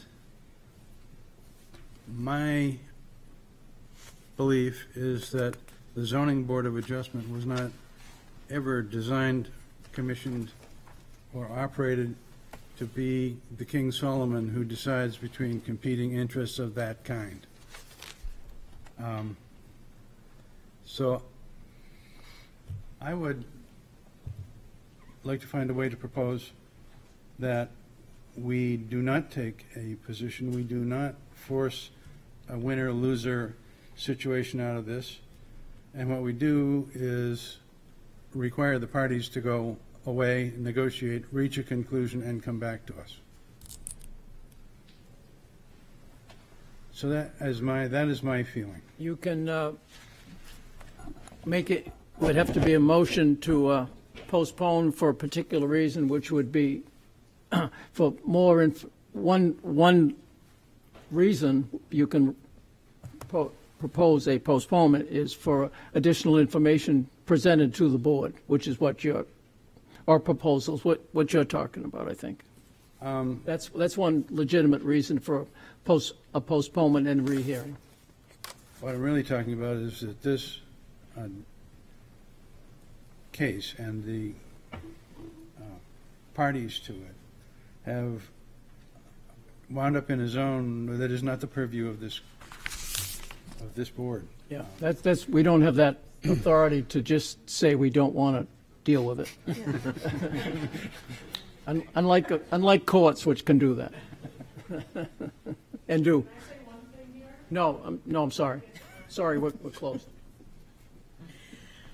Um, So, may I uh, offer a motion? Please do. Uh, I move that we advise the applicants that the petition that they have presented to us is not really actionable and that they should withdraw this application? Can't do that. Can't do that. We, we have to, we have to take some kind of a positive action, even if it's only to postpone for further. Table. Right, ex- exactly, right. Then we postpone a decision un- Till until next- such time that the parties have brought us um, information that is zoning issues. Well, we can, we can postpone it for further information. That, that's just, everybody understands what that means, till, till next month. Okay. Is that your, okay? Because I think we've heard, I think I can support that. We've, I think we've heard enough to realize that there may be some opportunities here. Uh, Is there a second to that? Let's see if there's a second to that motion. I'll second for discussion. Thank, thank you. Is there criteria, and this is probably for Peter, that if the board wants to postpone it, would that be with the permission of either the applicant or we can just do it? We can just You- do it. you can request- In fact, the public hearing's closed, so. You can postpone it and request with, you know, with, in the motion, request a- a revised drawing based on the discussions. Okay. That's what I was between the getting two at, further parties. information, Right. yeah. Okay. Yeah. Yes, yes, we can. We like, we we do it reluctantly, but sometimes it's appropriate. Yeah. Any, Ms. Eldridge? Is there a motion on the table or not? Yes, 'Cause- yes, I'm looking for Who a sec. seconded it? I'm looking Mr. for a Mann. second. Mr. Mann will Mr. second. Mann will second He's it. making a motion to postpone. Right, Okay. postpone till next month. All right. All right, And, and Mr. Mann That wasn't second a it yes. for discussion. right. Right. Anybody, anybody else? I'm ready to You ready? discuss. Anybody, So- everybody ready to vote? No, I'd like to, I have, Okay. a- I have a, I'd like to say something. I, I've looked at the application, especially the revised application. I think it meets all the criteria as presented. I'm ready to support the application, so I'll be not supporting the motion to postpone. Okay, fair enough. Okay, anything, anything further before we take a vote on the motion to postpone till next month? As I say, we, we do this reluctantly, but sometimes it seems like the, the best course, so. All right. Any further discussion on the motion? Not? Okay, it- the motion is to postpone. Mr. Mannle? No. Okay, let me get my pen in the right place here. Mr. McDonald? Yes. Yes. Mr. Lee? No. No. Down, Mis- Mr. Rossi? No. No. Ms. Eldridge? No. No. All right. I was going to vote yes, and I still will. All right. So that, that motion failed, so we need another, we need another motion. I'm prepared to make a motion. I'll have to make a comment first, though. Okay, please. When you, when we grant a variance or a special exception for anything, we're, we're actually granting it to the property, not to the person. So I'm, I'm in total sympathy with the, you know, the struggles with aging parents. I've gone through that myself, a family member with Alzheimer's and all that. That said, again, we're granting any relief to the property. It runs in perpetuity. That variance will endure and, and survive long after everybody in this room is gone. So that's what, one of the things we're charged with. Uh, I've looked at the revised uh, uh, plan that uh, the architect submitted, and I think that more than meets the criteria, and I'm prepared to make a motion to approve the application as amended. With, with the inclusion of the deck or without the deck? Because they offered to delete the deck. Without the deck. Okay. Is that a motion? It is a motion. To approve With- as- modified, modified edition Without the deck. without the deck? Okay, is everybody clear what we're voting on? I'll Okay. second. All right, okay. All right, thank you for the motion. Is there a second to that motion? As, p- I'll second. Ms. Eldridge, thank you. Okay. Anything, anything further before we take a vote on that motion? No? All right, I'll start, I'll start down this time uh, with Mr. Rossi. Yes. Ms. Eldridge? Yes. All right. Excuse me. Mr. McDonald? Yes, Yes, okay. Uh, Mr. Mannle? Yes. All right. And, and, excuse me, and Mr. Ma, and Mr. Lee? Yes. Yes, and the chairman votes no, so. the motion is carried. It's approved as modified minus the deck. Okay, all right, everybody's, all right, thank you all very much. Thank you for all, everybody for Just- coming. Just remember, this is just for variances. The plan here hasn't been approved. Okay? And the CUP hasn't been approved. There's still plenty of places to make changes. Okay, fine. Just- okay just with me. Slap, slap my wrist. Just a formality. Formality. We had enough discussion on the, no, I, Thank I you, agree. Jim. I, I agree. Yeah, thank you, Jim. I agree. She went about this like a general. All right. Sending out all those- Time is it's only eight thirty, we're making great, we're making great progress. Smoking rough through this.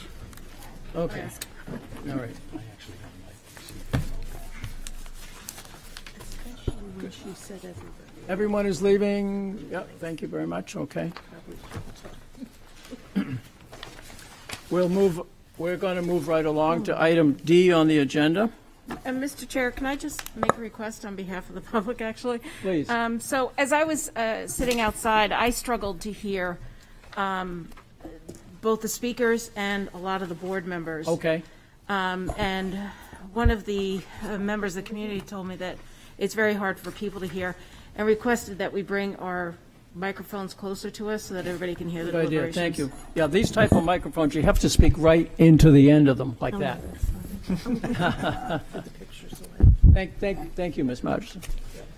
And, and, and the same, and I had asked one of the speakers, and when, and let me just repeat that, when you come up, get, get uncomfortably close to that microphone and speak right into the end of it, please. Okay, that takes care of that item. Uh, Next is item D, the request of Christopher H. Garrett Revocable Trust, Trust for two, of 200, 2007, the owner, for property located at 1299 Islington Street, whereas relief is needed to subdivide one lot into two lots, which require the following. One, variances from section 10.521 to 1 to allow A, a lot area and a lot area per dwelling unit of 12,366 square feet, where 15,000 square feet is required for each. And by, and B, 99 feet of continuous street frontage where 100 feet of continuous street frontage is required. Said property is located on Assessor Map 233, Lot 19, 119, and lies within the Single Residence B, SRB district. Who speak, who would present this to the board, please?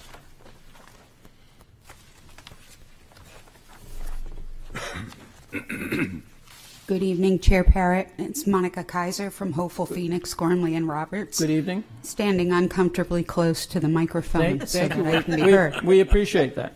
And so does the audience. Uh, With me tonight um, is Chris and Leslie Garrett. They're sitting in the second row to my left. Um, And Alex Ross from Ross Engineering is here in the front row, who's done the technical work, the survey work on this case. Alex has brought low-tech plans because I might not be able to figure out how to do the That's, that's fine. the fancy stuff.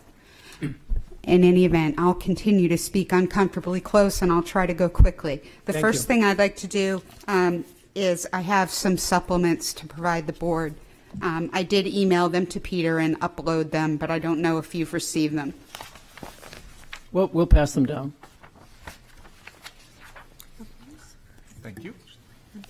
So the first thing that I'm handing you, Uh, Unless you grab the. They can't hear you. The No, other microphone. So the first thing that's coming down the aisle to you is an Exhibit E, which is a list of abutting neighbors who support the proposal. Um, on the first page, and on the second page is a little map so you can see where those supporting people live. Now, the other thing coming down the aisle is a new and improved revised Exhibit C. Exhibit C is a map of the surrounding areas that shows you um, the surrounding lots that are non-conforming as to frontage, lot size, or both. Um, The revised Exhibit C uh, corrects a couple mistakes on that map that I prepared, um, and also in the upper right-hand corner gives the percentages, um, and it tells you that 41% of, of those lots on the tax map are non-conforming as to frontage, and it tells you that 50%, wait, non-conforming as to frontage and lot size, is that right? And 50% of them are non-conforming as to lot size only. Um, So that's the context of the surrounding area, which I think is important. Chris and Leslie have owned this property, or their family has owned this property since the 1900s. Um, It's been in the family for a very long time. Um, Leslie lives in the house now. Um, Chris lives uh, on the other side of the rail bed. Um, the property is getting to be a little much for Leslie to handle, um, and that's why they're looking to make these um, requests to you. To outline the lot, um, don't know where the little thing is, but in any event, the lot is up on the screen. That's the existing conditions lot. So you'll see it's got 199 feet of frontage. It's got about 27,000. Um, I'm not even, wasn't even on the list. you're mumbling. Is, do you have a question or? Okay, I thought I heard something. Sorry, it must be out in the hallway. Uh, so I think it's about twenty-seven thousand three hundred and sixty-six. It's .628 acres as it stands right now. And you'll see as you look at it that the um, existing house that Leslie lives in is way up at the front right corner. Uh, and there's an existing barn behind it. The entire left side of the lot is, is just untouched. It's unused. Um, it's bordered, um, obviously, by residential properties on either side and across the street, but then behind it is a rail bed. Uh, and on the other side of it, um, I think is a little bit more residential area, but also the office research zone. Um, so what we're looking to do, if you can go to the next page, Peter, um, we'd like to subdivide this lot to create two lots. One lot would be the lot that Leslie's house and Leslie and Chris's house is sitting on, um, and that lot would be entirely conforming. It would conform with the 100-foot frontage requirement. It would be 15,000 sque- square feet of lot area, um, and the coverage on that would be about 12%, where 20% is permitted. So that lot would be entirely compliant. Um, The relief is required for the second lot, which would be uh, 99.3, uh, .33 feet of frontage where 100 feet is required, and about 12,366 square feet where 15,000 square feet is required for a dwelling unit. Um, Obviously, the 99.33 square feet is, you know, 99% and change of the uh, required 100 feet of frontage. 12,366 square feet is about 82% of the required uh, lot size and the lot size per dwelling unit.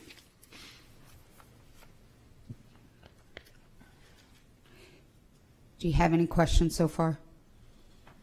Okay, so I'm going to go right into the criteria, if you don't Yes, mind. Yes, please do. Uh, So I've laid this out in writing in the memorandum, but to hit the high points, um, taking the first two criteria together, the public interest and spirit of the ordinance, um, you know, the question is whether granting the variance would unduly and um, to a marked degree conflict so much so that it would violate the ordinance's basic objectives. And we always remind the board, mere conflict alone is not enough. Um, in my memorandum, um, I go through the purposes of the ordinance and I describe um, how this proposal either advances those purposes or, or does not undermine them.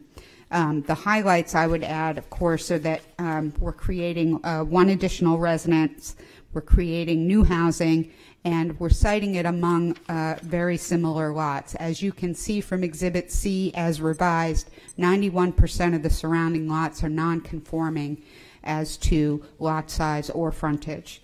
Um, 41% of them are non-conforming as to lot size and frontage. Um, and we didn't even consider um, and examine closely the number of two families in the area. There are certainly some, perhaps not a lot. Um, but our analysis as to lot size and lot size per dwelling unit didn't even examine that. Um, we feel that it's compelling as it stands um, when you look at the um, small lots and the surrounding developed area. Um, so the request for this new lot, it's going to it's going to live among other lots that are very similar. It's not going to um, violate the ordinance objectives. Um, the lot size of 82% of the requirement um, is sufficiently large amount to easily provide enough space for a modest home within a building envelope um, and within coverage requirements. Um, and as such, uh, certainly allows uh, adequate opportunity to, for stormwater and other things to be managed on the lot. Um, and for the same reasons, this proposal doesn't alter the essential character of the locality or threaten health, safety, and welfare. Um, we have essentially a thickly settled area, um, and once a house is built on this lot, it's going to look like it belongs in this neighborhood um, because 91% of the of the lots on the tax map are also non-conforming. Um, it will not diminish the value of surrounding properties um, as uh, as demonstrated and agreed to by the abutters who are in support of the proposal. And if you look at that exhibit, it's not just a list of the propose of the abutting support the abutters who support the proposal. Page two illustrates where those people are, so that you can see that the property owners on either side of the property uh, support the proposal, um, as well as um, the owner across the street support the proposal, and then more, and then more. Um, so we're very pleased that we have the support of our neighbors. Um, next, uh, unnecessary hardship. Um, the first, it's a three-part test, as you know, with the first being whether or not there are special conditions that exist. Um, we think that given this oversized lot in this transitional zone, uh, with the house and the barn located all the way to one side, um, leaving this large area underutilized, um, as well as the case law that I outlined in the memorandum that talks about um, whether a hardship can be found given the context of an area. We think that special conditions exist. Uh, and there's no fair and substantial relationship between the purposes of the ordinance as applied to this proposal when essentially we're asking for a variance for, you know, essentially 99% of the frontage um, and a substantially sized lot still at 82% uh, of the required lot size and frankly uh, larger than some than some surrounding lots. Um, the subdivision uh, of the lot, um, which will, of course, be evaluated by the planning board as well. Um, as I said, the subdivision allows a new lot, but um, and provides an opportunity to put the new house appropriately um, sized new house within the building envelope on the new lot, um, meeting uh, setbacks and coverage requirements. Um, and then the third prong of the variance of, excuse me, of the unnecessary hardship test is whether the proposal is reasonable. Um, as cited in the in the brief, you can see that um, it's a residential use in a residential zone, and therefore it's presumed to be reasonable. Lastly, the substantial justice test, it's articulated in the memo, and what I would say to that is that, um, again, same thing, granting the variances to accommodate uh, one modest home on a lot similar to those of the surrounding area. Um, it does a substantial justice. There's no benefit to the public from denial that outweighs the hardship to Chris and Leslie. Um, and uh, frankly, the hardship to Chris and Leslie might be that they can't afford to continue to live in this property um, as they get older.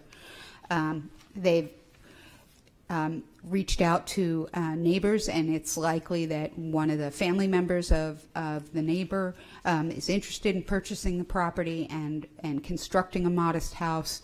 Um, and this way is a win win for that neighborhood. Um, if there's anything that I missed, I'll ask Alex to address it. Otherwise, if you have any questions, or I'm all good. Anything from the board for the speaker at this moment? No, thank, thank you very much. Is there someone else present who'd like to speak in favor of this proposal, please? Anyone else to speak in favor, please come up. You- Your name and address, if you would, please. Good evening and thank you. Ralph DiBonato, and I'm here to speak for my wife Linda and I. We aren't abutters, but we are in the neighborhood. Um, I wanted to reiterate, uh, that was an excellent presentation on the varying size of the lots in the neighborhood. Uh, We bought a house on Islington Street that was built in 1937 uh, in the block that's formed by Islington Street, uh, Essex, uh, Essex Avenue, Melbourne Street, and Vine Street. There's 19 houses in that block, and more than half of them are on lots, 50-foot frontage, 100-foot deep, 5,000 square feet, as well as houses on Islington Street going down the hill from the blinking light. There are houses built on lots that are 50 by 100 foot. Um, the exception in the neighborhood are the handful of larger lots, which this will be one of. Uh, And so we're here to speak in favor of the project. Thank you. And can we have your street address, please? I'm sorry, For the re- 13 1374 Islington. 1374, thank you very much. Uh, Other speakers, please. Anyone else who wants to speak in favor?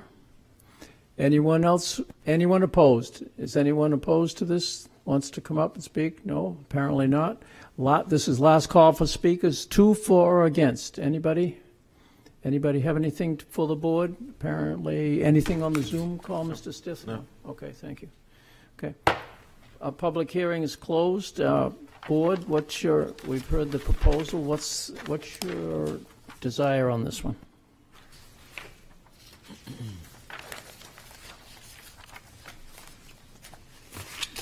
I would like to make a motion that we approve the variances as requested. Thank you, Mr. Rossi. Is there a second to that motion to approve? Second. Thank, thank you, Mr. Mannle. Uh, Mr. Rossi, your, your uh, motion, please.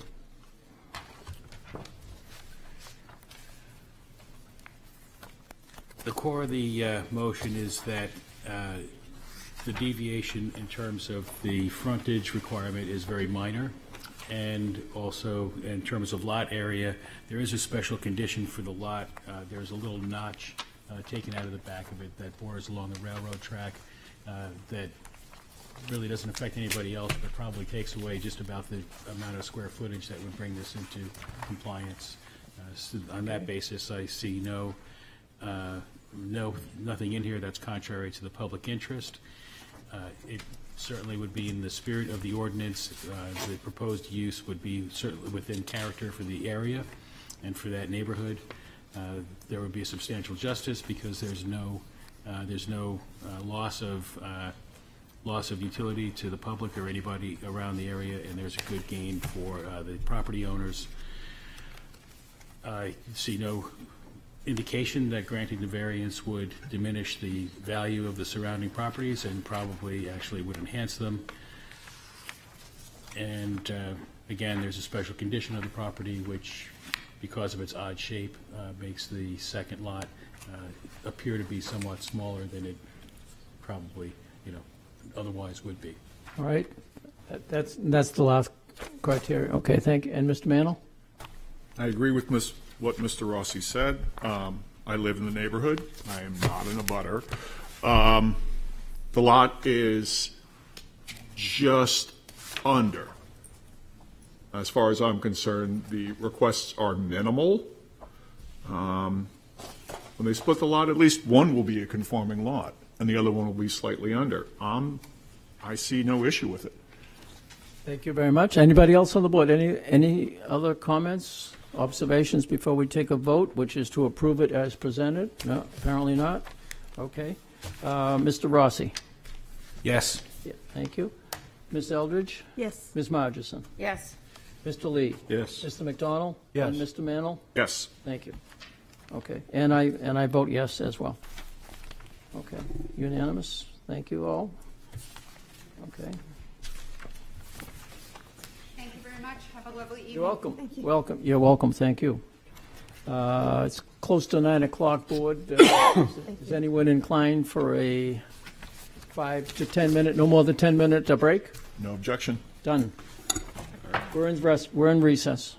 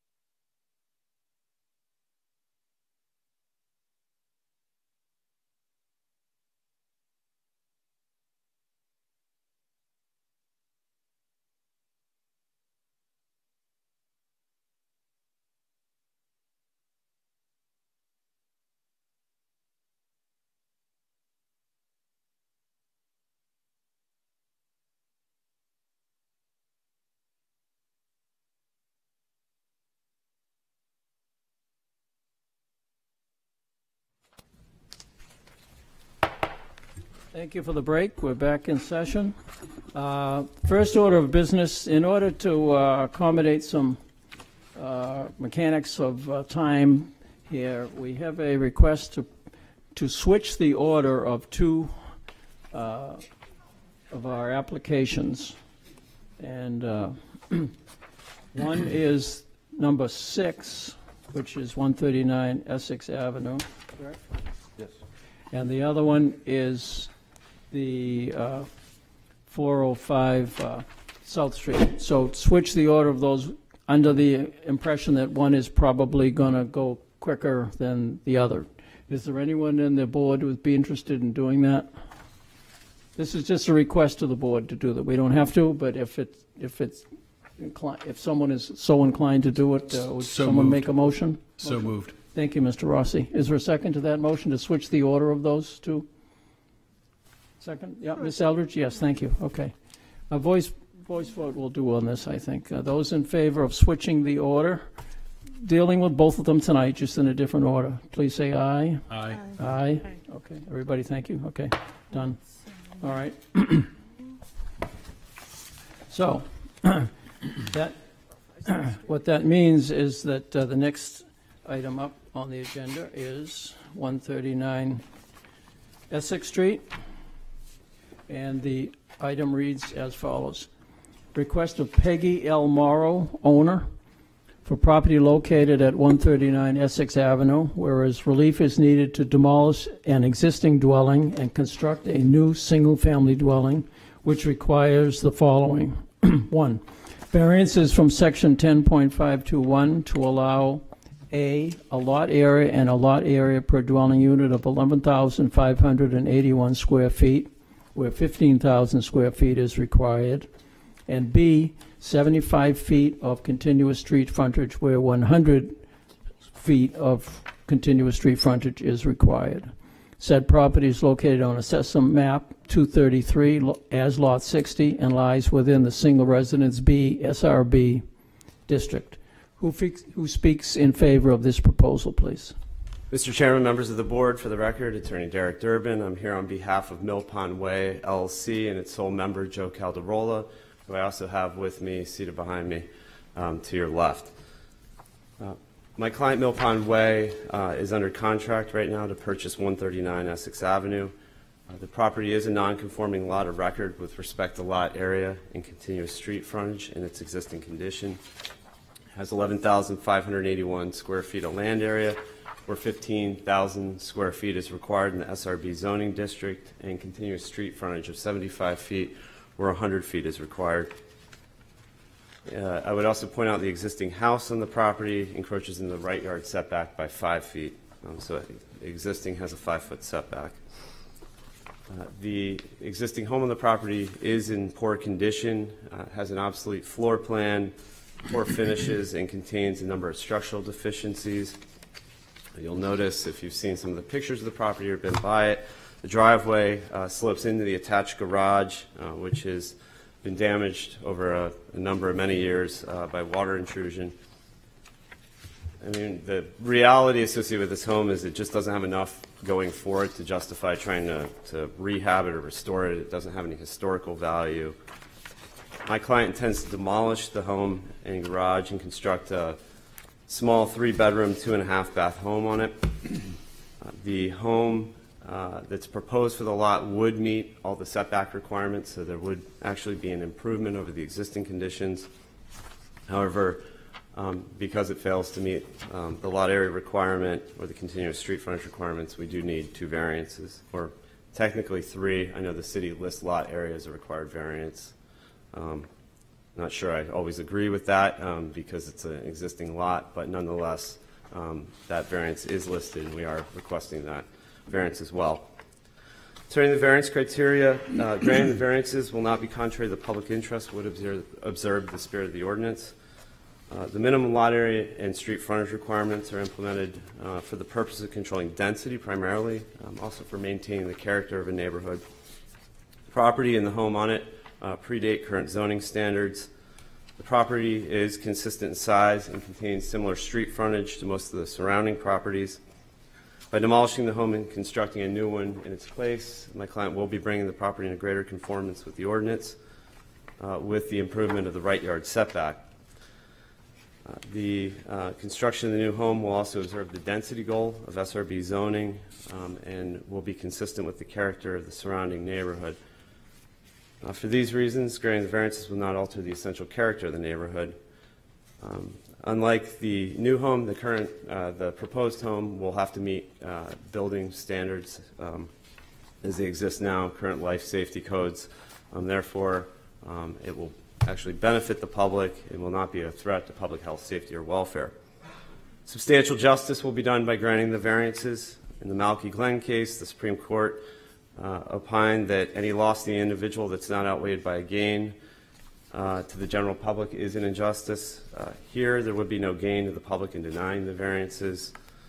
It would really be, do nothing to, to, to benefit anyone. It would co- constitute a hardship upon the landowner to deny the right to build a new single-family home on the property. Therefore, the loss to the applicant in denying the variances outweighs any perceived benefit to the public.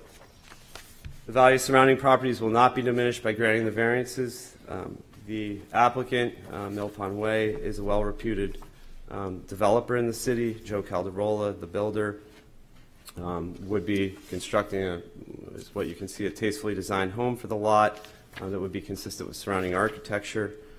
And there's evidence throughout the city, particularly in recent years, that demonstrates that surrounding property values should actually um, only increase with uh, a new home on the lot. Literal enforcement of the provisions of the ordinance would result in an unnecessary hardship. Uh, This relates to the nonconformities associated with the lot as it exists now, and the fact that it does have a single-family home on it um, that's nonconforming. Therefore, the construction of anything on this property does require the variances being sought. And, you know, the reality is that denying the variances would result in a worse outcome than, than granting them. So, uh, for these uh, reasons and the fact that SRB zoning um, permits and encourages single-family homes by right, um, the use is reasonable. I would submit to the board that the five criteria for granting the variance is met, and happy to answer any questions you have, and um, Joe is here to answer any um, specific design questions you may have as well. Any questions from the board for the speaker at this time? No, apparently not. Thank you very much. Thank you. Is there anyone present who'd like to speak in favor of this? Anyone in, anyone who want to address the board in favor of this proposal? No, no, apparently not. Anyone opposed? Is there anyone present opposed? Come up and, uh, your na, your name and address for the record, please. My name is Joanne Wolf. I live at 213 Gate Street, but I'm speaking on behalf of my daughter and son-in-law, Allison and Sean McGrimley, who live at 56 Sheffield, um, which abuts this property, backs up to this property. So I'm not sure I'm even objecting to the variance. I'm, I'm just questioning the documents with the plans that were submitted.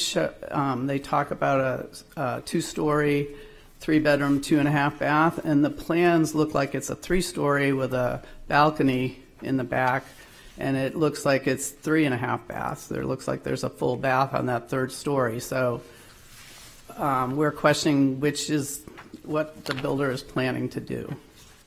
All right, thank you. I'll, I'll invite them to clarify that in a minute. Is there uh, anyone else to speak in opposition? Anyone else? None? Okay, uh, two for and against, and anybody wants to address that uh, question raised by the last speaker, please, please do. Hi, uh, for the record, Joe Calderola. Um, Your, your address, please? Oh, 170 Dennett Street, Thank Portsmouth. Yeah. Uh, The, the, uh, the floor plan is exactly the same as houses we built before, and the question is whether the attic gets finished or not. It's a, it's a New Englander. Uh, There's no dormers. Um, But I think the, what happened was that by the time we actually drew the plans for the lot, we decided to go ahead and finish the attic, so there is a bath up there. So the two and a half bath is, was a misstatement.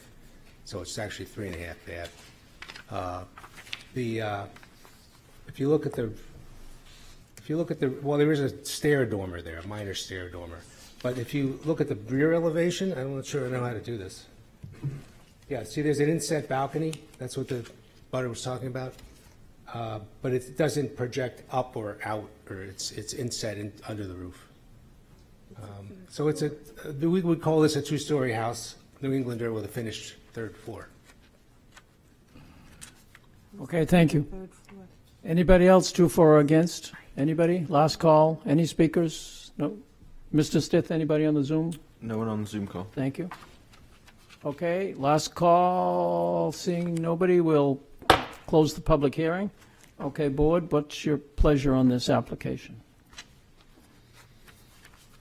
Discussion or perhaps a motion?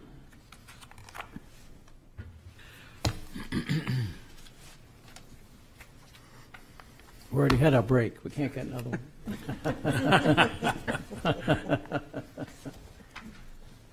Chair, I would, Mr. uh, Lee, yeah. I would uh, be prepared to make a motion to approve this application as presented and advertised. Thank you. Is there a second to that motion? To approve? Ms. Second. Ms. Eldridge? No? who- Oh, Ms. Mr. I- Mannle. I was looking, Mr. Mannle got it first. I thought so. Okay, thank you, Mr. Mr. Mannle. Your, uh, Mr. Lee, your motion, please. So it, it seems that uh, demolishing and rebuilding existing homes is beginning to, uh, has become a thing in Portsmouth, and I see a lot of that in my business, and I think it's a, a good thing overall. You get, as uh, the attorney uh, presented, uh, you get a uh, code-compliant house with all the life safety features that some of the older houses don't have.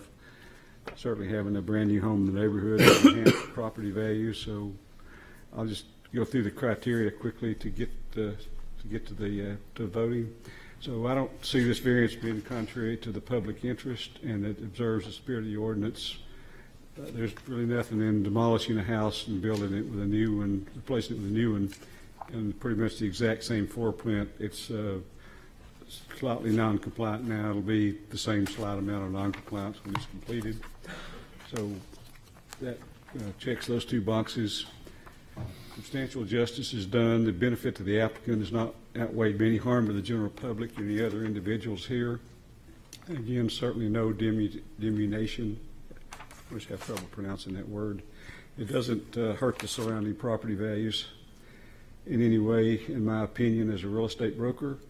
And literal enforcement of this uh, ordinance would result in unnecessary hardship, and that hardship would be not being able to uh, complete the purchase and present the city of Portsmouth with a brand-new code-compliant house for a nice family to live in and be part of our city. So for that, uh, those reasons, I move that we approve this application as presented and advertised. Thank you. Mr. Mannle? Um, With everything Mr. Lee said, if anything, the new structure will be more conforming than it currently is now. So, I agree. Okay, thank you. Anything further from the board? If not, let's, uh, Ms. Ms. Rogerson. So I, I, just echoing on what Mr. Lee said, um, eh, we are, we are seeing a lot of demolition of houses and reconstructions. Um, I think that's unfortunate. I, I think that this house is really neat. I'm very sorry to lose it. Uh, but that said, that's not within our purview. Um, and I do think, I will be voting for this because I do think that, uh, the variance request is reasonable and de minimis. Okay, thank you. Okay, well, we're all set. Mr., uh, we'll take the vote. Mr. Rossi? Yes. Ms. Eldridge? Yes. Ms. Margeson? Yes. Yes. Mr. Lee? Yes. Mr. McDonald? Yes. And I vote yes as well. Okay. Nope, Yes. you left- Mr. left on I'm that. sorry. Who did I leave out? Mr. Mannle? Oh, my goodness. Yes. Sorry. Yeah. All right. Let's go too fast, yeah. All right. Thank you. All right. That brings us to the uh, next item on the, on the agenda, on the revised order of agenda, and that is uh, 405 uh, South Street, and reads as follows.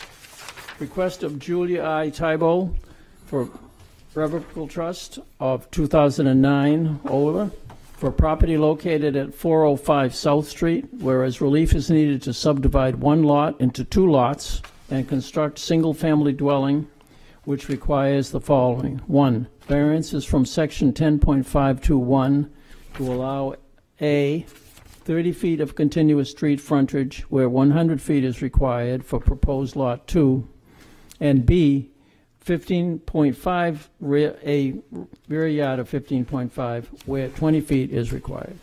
Said property is located on Assessor Map 111 as Lot 18 and lies within the General Residence A GRA District. Who who presents this proposal, please? Mr. Chairman, members of the board, again, for the record, Attorney Derek Durbin. I'm here on behalf of the applicant, SAI Builders. Um, I have Patrick Nyston, who works with SAI Builders with me, behind me. I also have John Chagnon from Ambit Engineering, um, who's worked on the plans, and Julie Robb, the owner of the property as well, is here. Um, SAI Builders, as I noted in my narrative, is under contract to purchase a portion of the property if the relief tonight is granted. Um, hence the reason they're the applicant before you. 405 South Street is um, truly a unique property uh, when you look at it, particularly on the, um, on the tax map, um, when viewed in the context of the larger neighborhood and the lots that surround it. It's a very long rectangular property that has more than three times the lot area that's required in the GRA zoning district um, and nearly 23,000 square feet.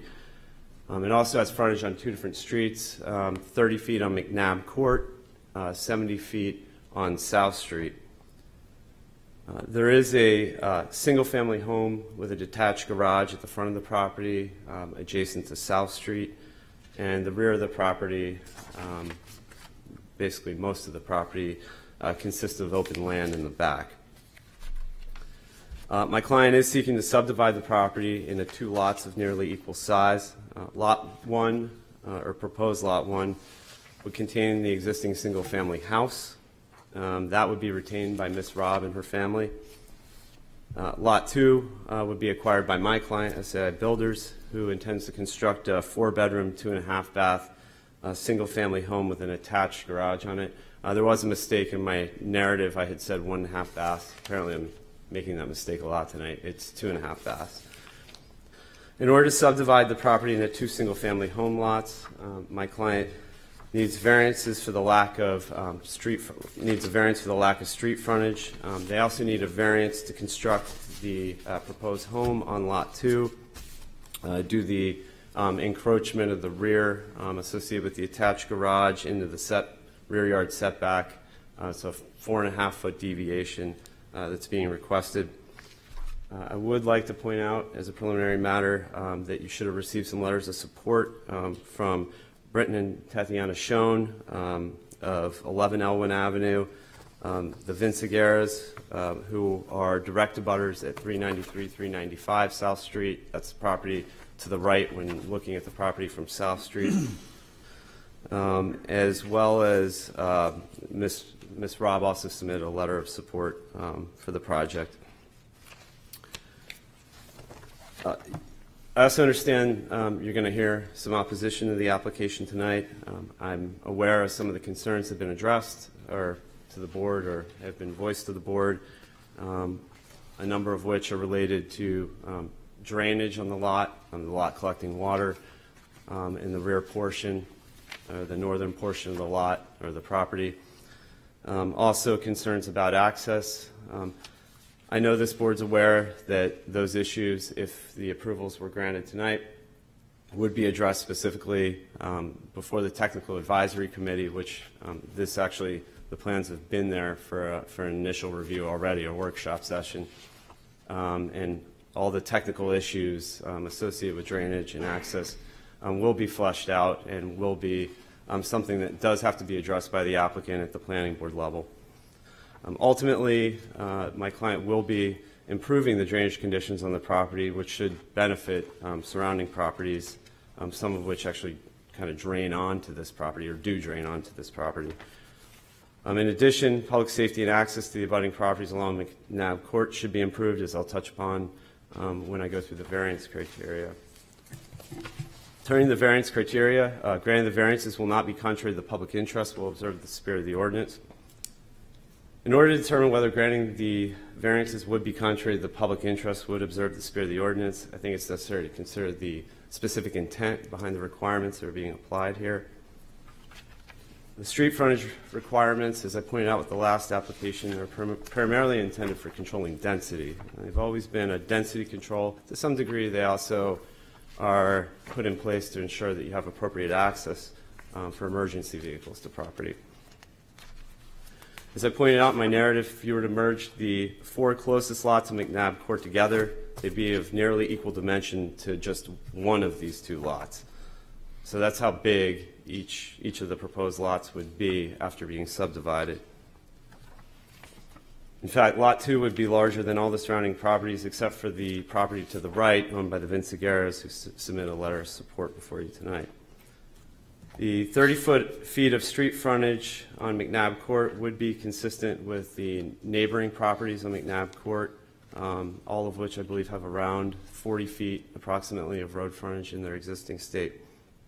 Therefore, the density goals of uh, the GRA zoning district and the spirit of the ordinance are met by granting um, the variance for Lot 2. Uh, The new home will also be built in accordance with current building and life safety standards, um, wouldn't impose any undue burden on municipal services. So for these reasons, just speaking of the frontage variance, uh, it will not be contrary to the public interest and would observe the spirit of the ordinance and would not alter the essential character of the neighborhood. Speaking of the rear yard setback variance, uh, this relates to the proposed garage primarily on Lot 2. Uh, Was, I mean, this is a feature that most home buyers now, at least for new construction, I'm sure Mr. Lee is aware of this as well, desire when purchasing in New Hampshire at this point, um, just due to our winters that we have here. Um, It is true that it'll create a nonconformity where none currently exist. Um, But I do believe that the request is reasonable when you consider the intent behind the building setback provisions and the proximity of the garage to existing structures on neighboring properties and the context of the surrounding neighborhood, um, which has a number of um, structures that are right up against property lines, um, similar to this. Uh, Will be set back a considerable distance from the nearest structure. Uh, I believe the nearest structure was calculated about 81 feet away from this. Uh, s- The building setback requirements, as you know, are imposed primarily to protect the light, air, and space between structures on abutting properties. This will meet that goal, won't have any um, impact upon the nearest butter, and um, the nearest butter has provided a letter of support. And uh, I think you'll also see by looking at the tax map that I included in the submission, um, that the two closest properties to the north on, of proposed Lot 2 on Lincoln Avenue do have detached garages that encroach into the rear yard setbacks. So this is a characteristic that's very common um, throughout the neighborhood. The applicant did spend a considerable amount of time and effort trying to locate the home on proposed Lot 2 so that no variance would be um, needed for the rear portion associated with the garage. Um, This wasn't possible for a number of reasons, if, if you're to have a garage on the property. Um, The primary reason is that we're proposing to allow snow to, to be plowed down McNabb Court um, for the plow trucks to be able to take a left-hand turn into the property and um, actually store snow on the property. Uh, As it exists now, snow is plowed up against the fence um, at the end of McNabb Court where it ends at our property. Um, This, um, it does actually create an access issue, but it also creates an access issue for the abutting property owners because it piles snow right in front of their houses. So we're actually um, looking to alleviate that, and in order to do that, you have to move the garage a little bit back. Um, If we were to show you sort of the turning radiuses of going into the property and plow, and putting that snow to the left, you, we, we- we're putting the garage basically up against the edge of where it's possible to take that left-hand turn in if you're a plow truck. Uh, So for these reasons, uh, granting the rear yard setback variance is reasonable and consistent with the spirit of the ordinance. Substantial justice will be done by granting the variances. Uh, Due to the length and size of the property, it has an oversized, underutilized backyard. Because of the size and frontage on McNabb Court, does make it ideal for um, subdivision, the creation of a new single-family home. Uh, It is important to point out to the board um, that the owner could actually develop a structure that would be of equal size to the proposed home um, in this location of the property and use the existing access down Mc- McNabb Court if they so desired um, to build some sort of outbuilding. Wouldn't be a home, but it also wouldn't be subject to all the technical review that this is going to have to go to and meeting all the drainage conditions and everything else that this is going to have to meet, which is really going to have to improve conditions and make it better for the abutters. So they could actually do that. Um, Another use, although it would likely require a frontage variance, would be that they could construct up to three condominiums on the existing lot um, by right with the lot area, just not with the frontage since it's 70 feet. So I, I mean, those are important things to point out because I know you're going to hear some concerns about any structure being built back there. Um, So I would submit to the board, there is no gain to the public in denying the variances requested. Um, To the contrary, I believe that there is a benefit um, and that the balance of equities weighs in favor of granting the variances. And as Ms. Robb pointed out in her letter to the board, her plan is really, she's trying to lessen her tax burden associated with this property, um, convey proposed Lot 2 to my clients, take that money and pass it on to her estate, and also to pass Lot 1, which she um, plans to to keep as long as she's alive um, to the rest of her family members. So, and that's the plan with the property. So there is a loss if the application's denied. The value surrounding properties will not be diminished by granting the variances. Um, To the contrary, I do believe there's ample evidence that proves that surrounding property values would only increase with the creation of the new single-family home. Um, SAI Builders, as examples, constructed and fully renovated um, several other homes in the um, south end, all of which were non-conforming, whether it was re- with respect to lot area, frontage, setbacks. Um, I believe the board can rely upon those, um, 84 Rockland Avenue, 21 Elwyn, 27 Elwyn, as examples of how surrounding property values will be maintained or increased. Uh, My client does develop well-designed homes. They do fit within the context of their surroundings. And I think um, that's being attested to as well in the letter you received from uh, Britton and Tatiana Schoen of 11 Elwyn Avenue. Literal enforcement of the provisions of the ordinance would result in an unnecessary hardship. Speaking of the frontage variance, uh, the property is longer and larger than the surrounding properties, has frontage on two public streets. So when you look at that in the context of the surrounding area, it is truly unique in its environment. When subdivided, each lot will meet and exceed the minimum lot area requirements for, for GRA zoning, thus complying with the purpose and intent behind the frontage requirement to control density. Um, and as I pointed out a moment ago, um, you could build something out here um, other than a home, but that would essentially have the same development impacts, but not be subject to the same oversight by the city. Uh, So these special conditions do make it distinguishable from surrounding properties such that there is no fair and substantial relationship between the general purpose of the ordinance provision, the frontage requirement, and its application here. Uh, With respect to the rear yard setback variance, um, this really um, is associated with the topography of the property um, and that being able to um, turn into the, the left side of the property and, and, and store snow there, which is a benefit um, to, really only to surrounding property owners um, and provide for safer access as well. Um, so for these reasons, there is no fair and substantial relationship between the rear setback variance and its application here. Um, the rear setback provision and its application here. Um, Finally, the proposed use is reasonable. It's permitted by right in the GRA zoning district, be used as a single-family um, residential. Uh, In conclusion, um, I understand as as a former board member um, on this board, it's obviously difficult when you hear from a lot of abutters that are opposed to a project. I also understand their concerns um, that are, um, you know, valid concerns related to drainage, access, and also the fact that they're going to lose a view of open space if the, if the property is developed. Um, But I would point out again, it, it can be developed out here, um, whether it's a single-family home or something else. Um, So the property is truly unique. I'd submit to the board um, that we do meet the five variance criteria for granting both of the variances being sought tonight. And I would just ask the board, um, before you close the public hearing, since there is a lot of um, opposition, that we be granted the opportunity to respond to any concerns that the individual board members may have, um, if any, um, before the public hearing's closed, just because I know how it is. Sometimes public hearing gets closed and you- you're like, oh, wait, I got one more thing to say. I heard this concern expressed, but it's closed. So I would just ask to, to be given an opportunity to re- respond to any concern anybody might have on the board. So I, I thank you for that and uh, happy to answer any questions that you have right now. Any question, Mr. Mayo? Um, Yeah. Um, Great presentation, Derek. Um, Question. looking at the map, is, do you know if McNabb Court is a public street all the way to your property? It's my understanding it is a public street. Um, it's, that, that it's expressly been treated as a public street and recognized as such. Okay. Um, yes, and also um, the fact that the city does plow down it as well would be at least some evidence that it is as well. Yeah, the only reason I ask when I'm looking at the city maps and you have something that stops.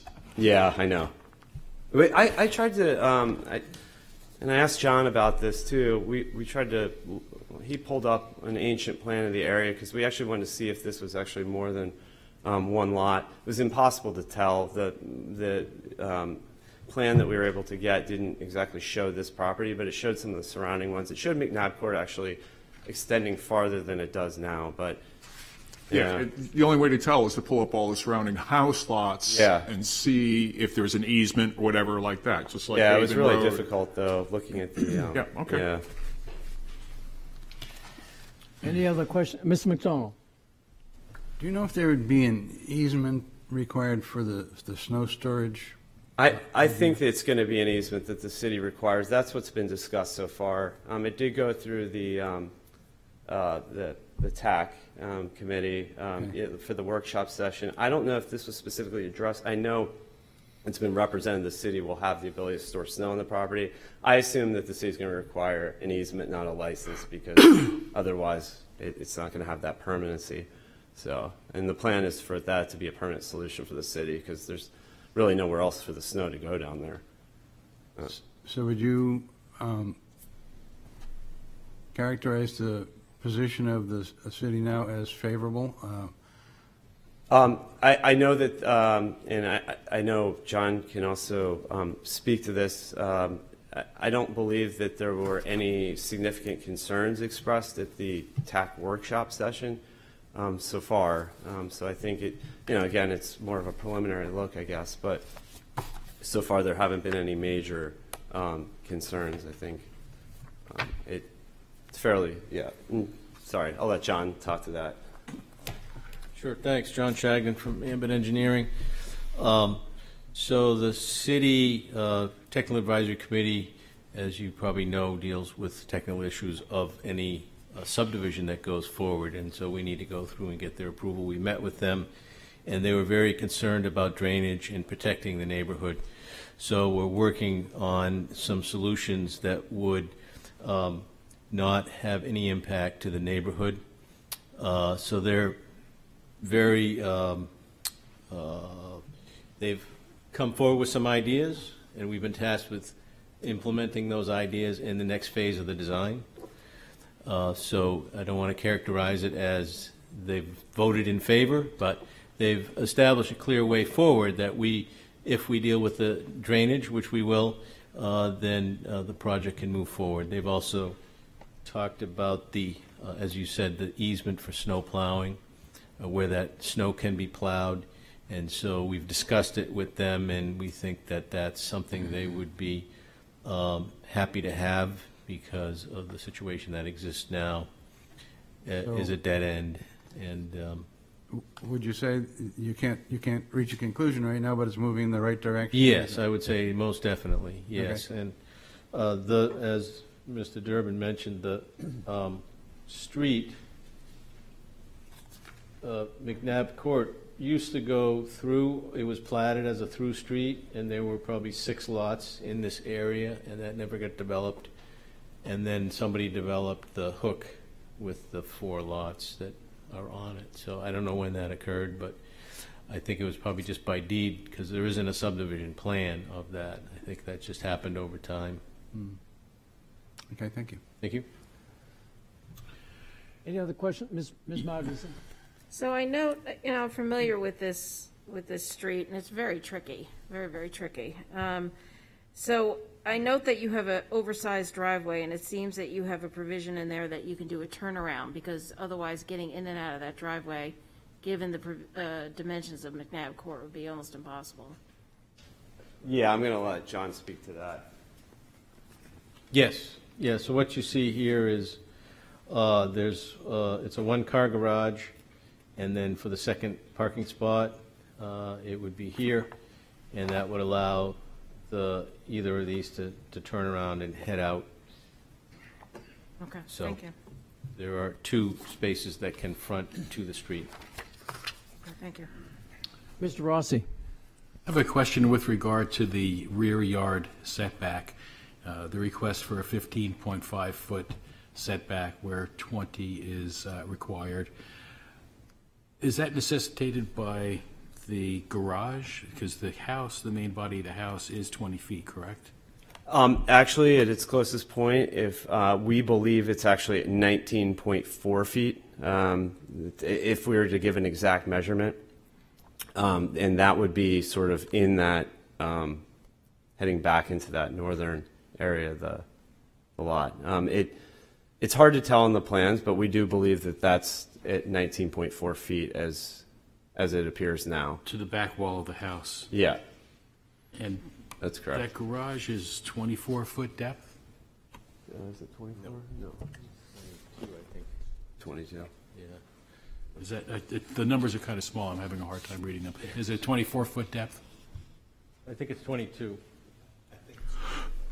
Yeah, it's So not do- oversized, it's not an oversized garage. Would it still be Stretch. functional if it was in the same plane as the rear of the house? In other So- words, if it wasn't bumped out?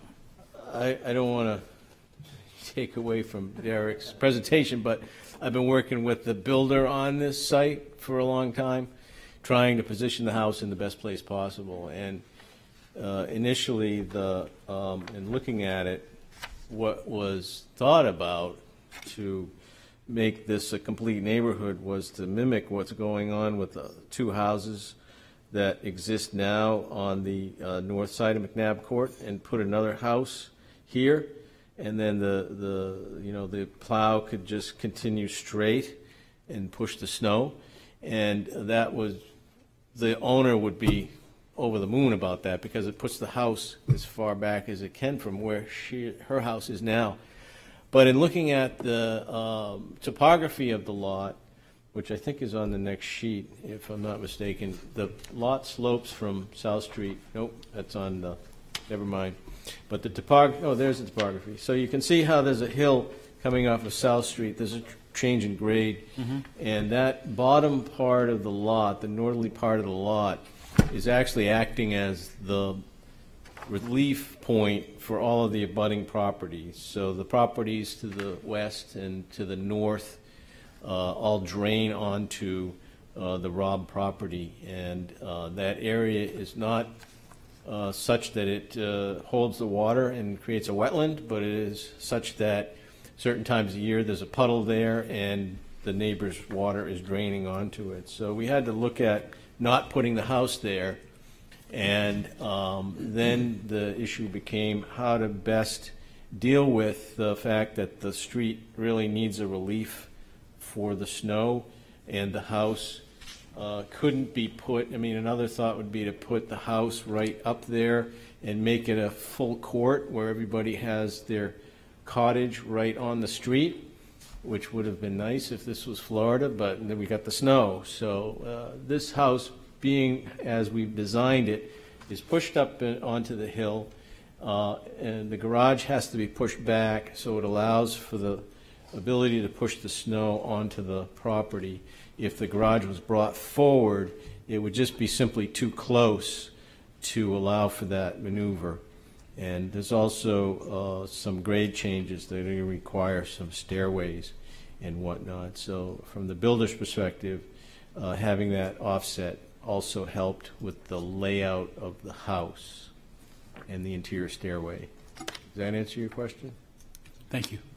But, uh, Mr. Chagnon, just saying, for what it's, for what it's worth, Mr. Rossi, the uh, sheet one of the architect's drawing shows the, show, I thought it did, excuse me, it shows the uh, garage is 24 by 15, 24, very clearly on sheet number one of the uh, O'Sullivan Architects. Thank you.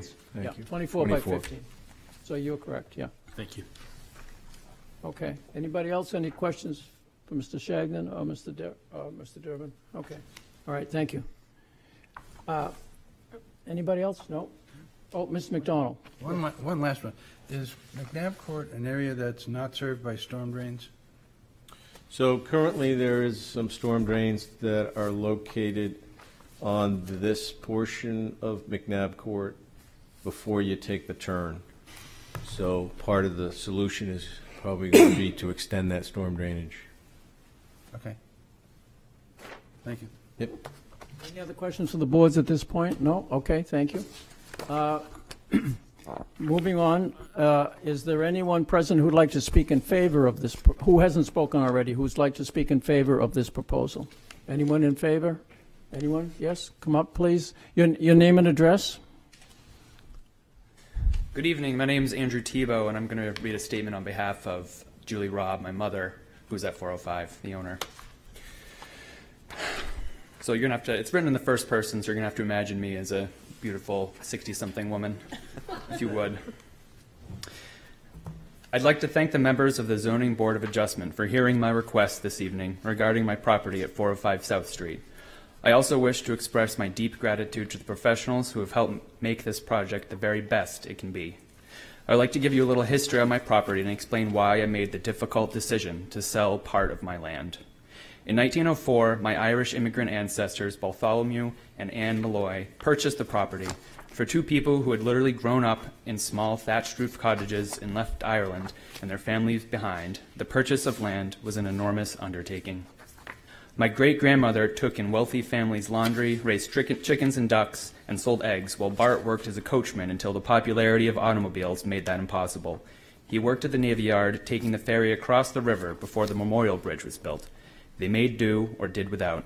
In 1905, the building of the house was completed, and the family of ten moved in. Anne Malloy often said she moved 12 times and wasn't moving again unless it was to be in the cemetery. And she accomplished that goal.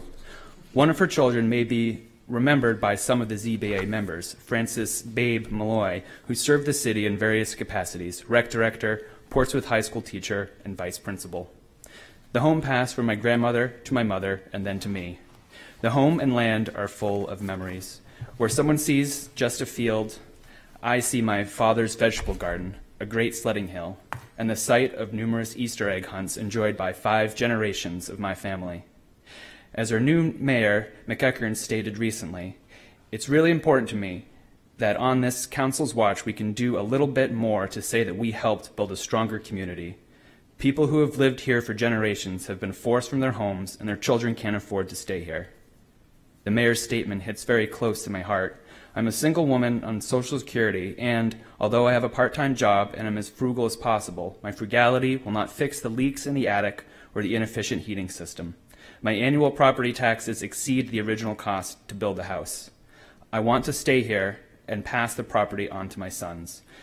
But my only option to achieve that goal is to sell my lower lot. It is important to me to have some input and control over what might be built on my family's land. So a single family home in an architectural style that complemented the existing homes was a must for me. When I saw 21 Elwyn Avenue being renovated by the SAI Group and building a nearly identical new home at 27 Elwyn, I admired how seamlessly these houses fit into the neighborhood. I was intrigued by their motto building the future, restoring the past. I have been so impressed and pleased with the communication and commitment by SAI Group to this vision for my legacy property. Every conceivable concern or issue has been addressed by them and their professional contacts. The new home and the engineering for various issues like drainage have been addressed by the best of the best in our area, Ambit Engineering. I am so confident in these organizations, and I hope the members of the zoning board and my neighbors will appreciate the efforts and consideration which has been brought to bear for this concept. I know that we've had so much large development happen very quickly in Portsmouth. However, this project is a one family home. It is tastefully designed and thoughtfully situated. It will bring tremendous value to the neighborhood, and we will welcome a new family who appreciates our exceptional proximity to downtown, the school, arts, recreation, and so much more. It is a change, but it is a positive, well planned change. Thank you for listening and for your consideration. Thank you. Excuse me. Uh, Who else would like to speak in favor? Anybody else?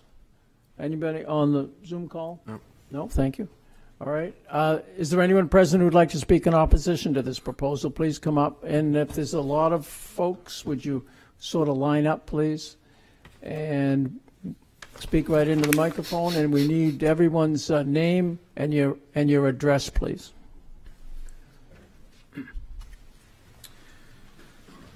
Hi, my name's uh, Alex LePage. Um, this is my wife Lauren. Uh, we live at 53 McNabb Court, which is a directed butter uh, to 405 South Street. We've lived there for two and a half years. Uh, this is our first home. Um, this is where we put down roots. Lauren's a small business owner here in Portsmouth. Uh, we recently had our first child. Uh, this is our first night away with a babysitter. Not exactly how I pictured it, but um, we made a very concerted effort to be part of this community. Um, this has been very essential because, uh, as you can see, McNabb Court is um, more of a shared driveway uh, than a street.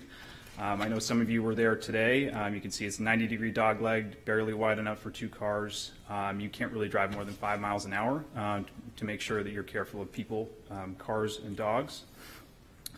I would also say that I've had positive interactions uh, with Julie at 405 South Street. Um, so last summer, when there was a lot of activity from surveyors on her land, um, I inquired what her plans were, looking to sell or build something. Um, she indicated that she was redoing the garage and doing a survey because one hadn't been done in a long time.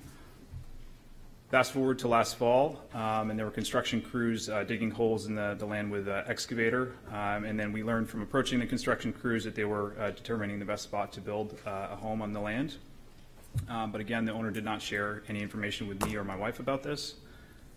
10 days ago, um, she contacted me with the, the plans to build the home, which she indicated was a 1,591 square foot house, along with the proposal that was submitted to the ZBA.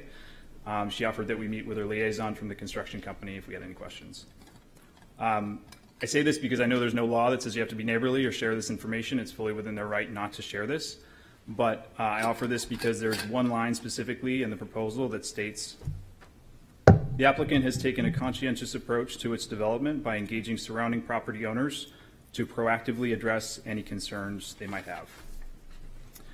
I found this to be particularly hurtful and uh, frankly dishonest uh, because we were not asked once about our concerns prior to receiving the proposal about 10 days ago.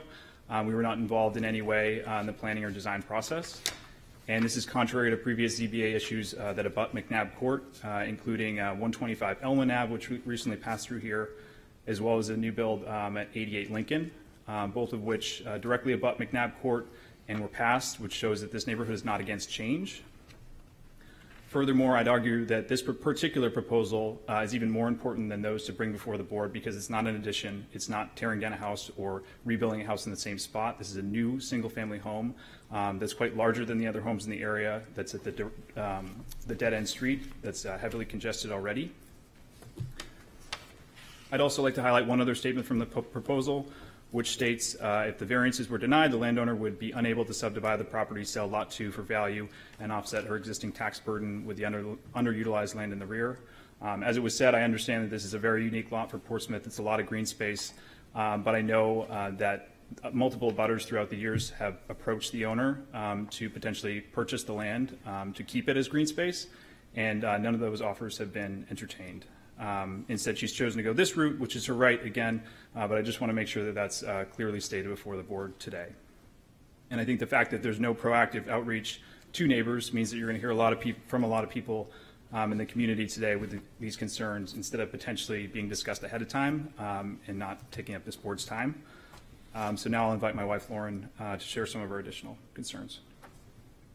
Hi, everyone. Thank you for your time. Um, I'm just going to get right into it and focus on the points that we feel are the most concerning in relation to the variances um, they're asking for to get granted today, um, most specifically the McNabb Court frontage variance. Um, the um, so they're asking for a 2,500 square foot home on 30 feet of McNabb Court. Um, I've looked at the map and I don't fully understand this request um, because the McNabb Court width of the street is only tw- 24 feet wide. That's extra six feet is looks like it cuts right into uh, 54 McNabb's paver patio and front stairs. So I don't. So I think we're they're really asking for 24 feet of frontage. Um, but I'm I'm new to this. I might be ignorant about that that request, but. Um, now, the amount of frontage aside, um, the logistics of having another house on McNabb as their only way in and out of their property is a safety concern to us.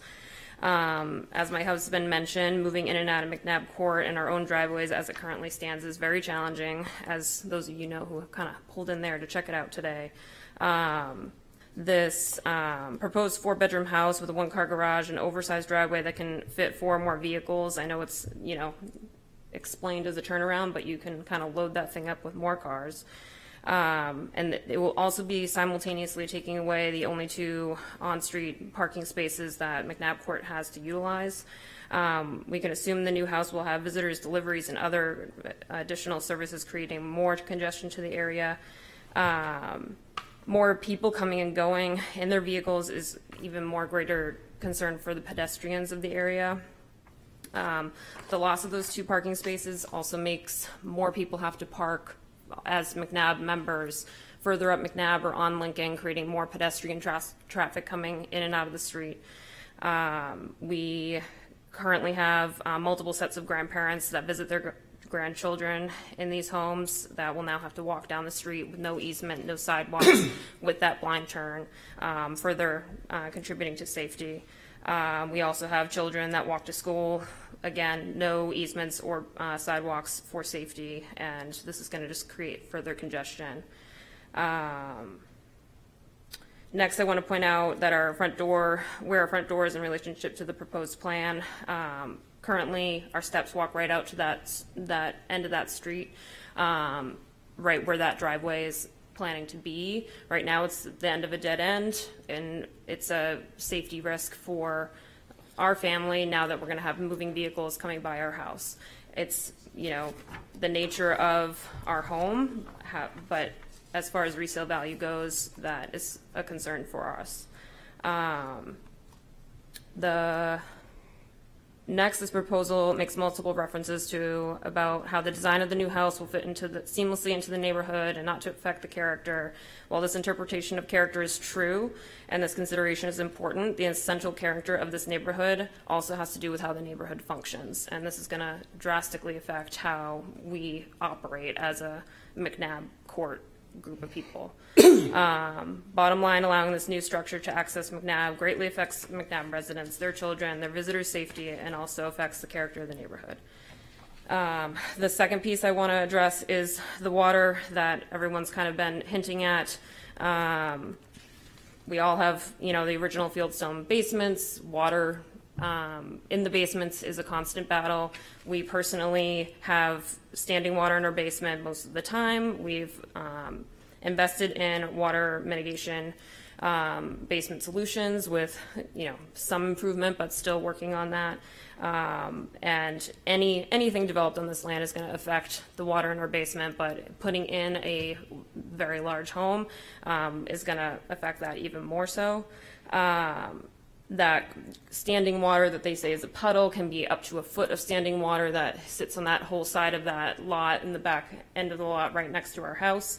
All of that water drains into the ground, comes right into our basement, goes into our sump pump. Our sump pump is working around the clock. That's currently how it is now. It, it's just the fact of that property. But anything that they do is going to affect that even more. Um, they've addressed that they're working on water solutions and, and things like that. They've been vague. I feel like they've been a little vague tonight about what those solutions are. Um, but it's a it's a huge deal for us in our in our current situation. Um, I think one thing that has not been touched on tonight is because of the surface area of that driveway, there's going to be more water runoff from the driveway that's now, again, it's directed right towards our house at 53 McNabb. Um, and there's been a lot of talk about snow. Whether the snow is in front of my house or beside my house, it's still ending up in my basement. So we don't personally have any concerns about where the snow is. They're not really doing us any favors. So I just wanted to make note of the snow issue. Um, and I think that's all I have to say. I will Thank you. leave that up to somebody else unless you have questions for me. Apparently not. Next, next speaker, please. I'm sorry. Next speaker, please. Good evening. Uh, ben Otis, 46 McNabb Court. Um, I've lived there for 16 years now, uh, raised our three boys on that street. Um, it's a very unique street in town as a dead end street. No sidewalks, no curbing, very, very uh, narrow, you really can't park in front of your house or you're blocking the street. So one of my big concerns is parking. If, if we put a fifth house on the end of that street, um, it, it instantly gets rid of two extra parking spaces. Um, we have over 15 cars coming in and out of that street because, yes, I'm one of the four houses on that street, but Lincoln and Elwyn back up to that street and access um, their garages or their driveways through McNabb Court. So I, I feel parking will be a very big impact to the neighborhood. The other thing is the water, um, which has been touched on. Uh, not just the, the water coming down, but the water coming up. Uh, this, this neighborhood has a very high water table. Uh, my sump pump runs often. Uh, you've got South Street on one side, Kent Street on the other, and it's kind of right in the valley. So um, whatever they're talking about, about just uh, runoff drainage, my other big concern is the drainage that comes from below up because the water table is so high. So, um, thank you. I'm Kristen Trepane Otis, Ben Otis's wife, 46 McNabb Court as well. And unfortunately, I feel like a lot of words and time have been wasted tonight talking about snow. Um, in the 16 years that we've lived on McNabb Court, only once has the snow piled against this fence where this frontage is on McNabb Court. It was in the blizzard that just happened in January. And the reason why that snow was piled there was because a substitute snowplow driver came by the day before and said, where do they put the snow? And asked the neighbors and got poor information that the snow went there. The snow did go there that time. There's actually a fire hydrant right there, so the snow should not be piled there ever anyways. Typically the snow is pulled out with a payloader and brought over to City Hall, or it's pushed to the straight end of McNabb Court to the right of our home, which is part of city land to the right of us that backs up to that house that's on a back lot on um, South Street. So the, all this talk about how great it will be for this snow to be removed is a non-issue. The snow does not get pushed against that fence. It did that one day, that one time, and it has not been an issue. We our children are getting older. They're in middle school and high school but we chose to live on this very quiet street because of the ability for the kids to play safely in the road. Our neighbors have all been kind and we all have worked together to move our cars in and out to park in ways that everybody can feel like they can have company and be accommodated and adding another home to the end of that street will eliminate all of that. The ability to play the ability to be in the street the ability to congregate as neighborhoods or as neighbors rather and create more traffic and more traffic jams. You wouldn't think there'd be a traffic jam but there is a traffic jam every day on mcnabb court. Thank you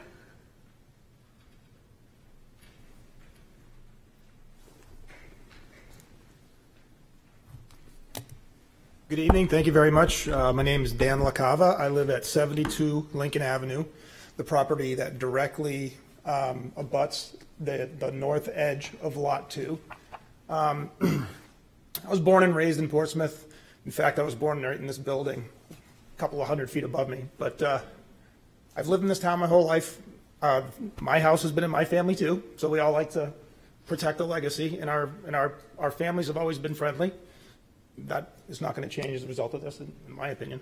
Um, but it's important to note that, as Ben uh, indicated, we're, we're in a valley between Kent Street and South Street. So we live where the water collects. That's my biggest concern is the water. Um, and I, I don't believe they have a strong answer on where the water is going to go. So I'd like to hear what's going to go on with that. Um, another concern I have is for uh, my neighbors' children's safety. McNabb Court is a bustling place. If you've ever stopped by on an afternoon, you're going to see half the neighborhood of, south, of the south side playing in that street. And they have to deal with cars all the time, which is just part of living. But one of the things that we should note about McNabb Court is that there's a fire hydrant on the street because you can't get a fire truck down McNabb Court. Now, what happens if we have a dwelling at the end of McNabb Court and something goes wrong during construction and the place catches on fire? We've got no access in order to get a fire truck there, right? You could pull the water out of the backyard, that would be effective, but you gotta hope that it rains the day before. Um, so again, my big opposition is with safety. Um, also, I don't know where they're gonna put the construction equipment for when they have to tear up McNabb Court to extend the drainage or change the, change the plumbing. Um, I don't know where the material's gonna go. Where are they gonna put all the material to build that house? Where are the trucks gonna park when it's time for them to spend six months building this thing, if they can get it built in six months? The house next to me took two years to get built. So, uh, those are my concerns. Uh, I, I don't like to be somebody who says, I don't want something done, but, um, I think we have like pretty much an eighty percent of butter disapproval rating on this one. Um, and, and I guess the last point would be density. I'm trying to figure out how we can say that this is not a problem about density if we're adding a new house to an area where it doesn't exist. It's making it more dense, right? So um, I ask the board to disapprove this, and uh, thank you for listening. Thank you. Thank you. Next, next, next speaker, next speaker, please. So I'm a little slow here. I had hip surgery yesterday, but I wanted to make it to this hearing. no, we're- no races tonight. And I am the neighbor, I'm at uh, Alex Greiner, 88 Lincoln. I am the neighbor who did take a couple years to build that Dan's referring to, although we're we're good friends now. Um, So I- I- Alex Greiner, 88 Lincoln. I live there with my wife Kathleen, uh, two young daughters. Um, It it goes without saying the tremendous appeal why anyone would want to choose. uh, And again, we're on Lincoln Ave, but our our our our home is frontage is on uh, Lincoln, but our driveway is actually off McNabb, or the first driveway on the left as you turn on. Um, Tons of appeal, and people before we moved here, as we were looking for places to live, when we mentioned we were looking at a house on Lincoln and McNabb, everybody seems to know McNabb Court. It's a very unique property. People know it for trick or treating and block parties and just the small, unique setting that it is. Has a ton of appeal. And everybody, I probably sound like a broken record, and people have mentioned it. It's it's tricky. It's unique. There's no sidewalks. There's no, you know, it's, it's very narrow. But like, what a great place to raise kids and have them, uh, you know, bike and scoot around, which we're just starting to enjoy now with a three and a six year old. Um, so I'm probably going to echo uh, the things that you've probably already heard tonight. You know, starting at first to read what, what Alex started off with. Again, I, I don't think there's any obligation for neighbors to come to the neighbors before they come to this hearing to apply, but I, I would contest that it's definitely misrepresented that there was a conscious effort to go reach out to neighbors about this project. I, like Alex, had seen work going on there in the past and kind of poked around and did talk to one of the end up uh, SAI liaisons to try to find out what was going on and poke around for a little bit of information. But the next time I heard about this project, when I got a letter in the mail like anybody else about 10 days ago. So there was no proactive engagement to understand neighbor concerns, and I've yet to talk to a neighbor that was reached out to proactively, aside from, you know, the door-to-door this last week um, in advance of this hearing. Um, The other concerns they have, which you've heard, are water. So we've spent thousands of dollars. We've got a couple sump pumps going in our basement. Um, I know frequently when it's wet out, uh, we've uh, spent thousands of dollars. Uh, Even though we have a nearly new construction, we did keep the old fieldstone foundation, so we deal with a lot of the water issues that you've heard about. So I'd be very concerned.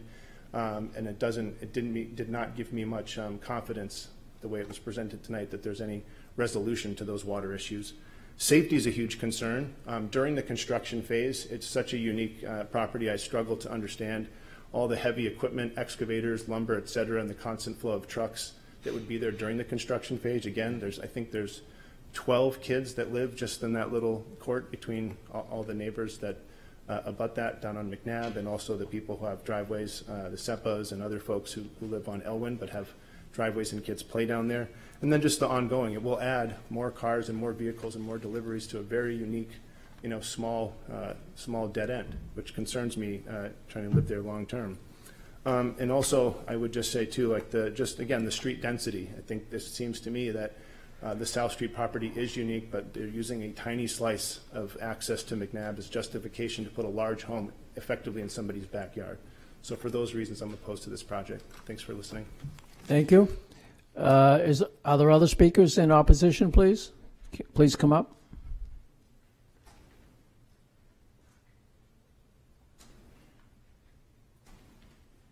Hello, my name's Lucinda Lloyd, and I live at 54 McNabb Court. So I am the abutter right next to the land. Um, I have the fire plug right in front of my house.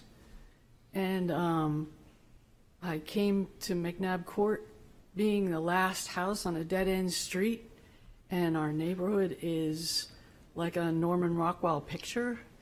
It's uh, a place of a lot of community and safety about the little children that are running around. Our our speed zone is like five miles an hour.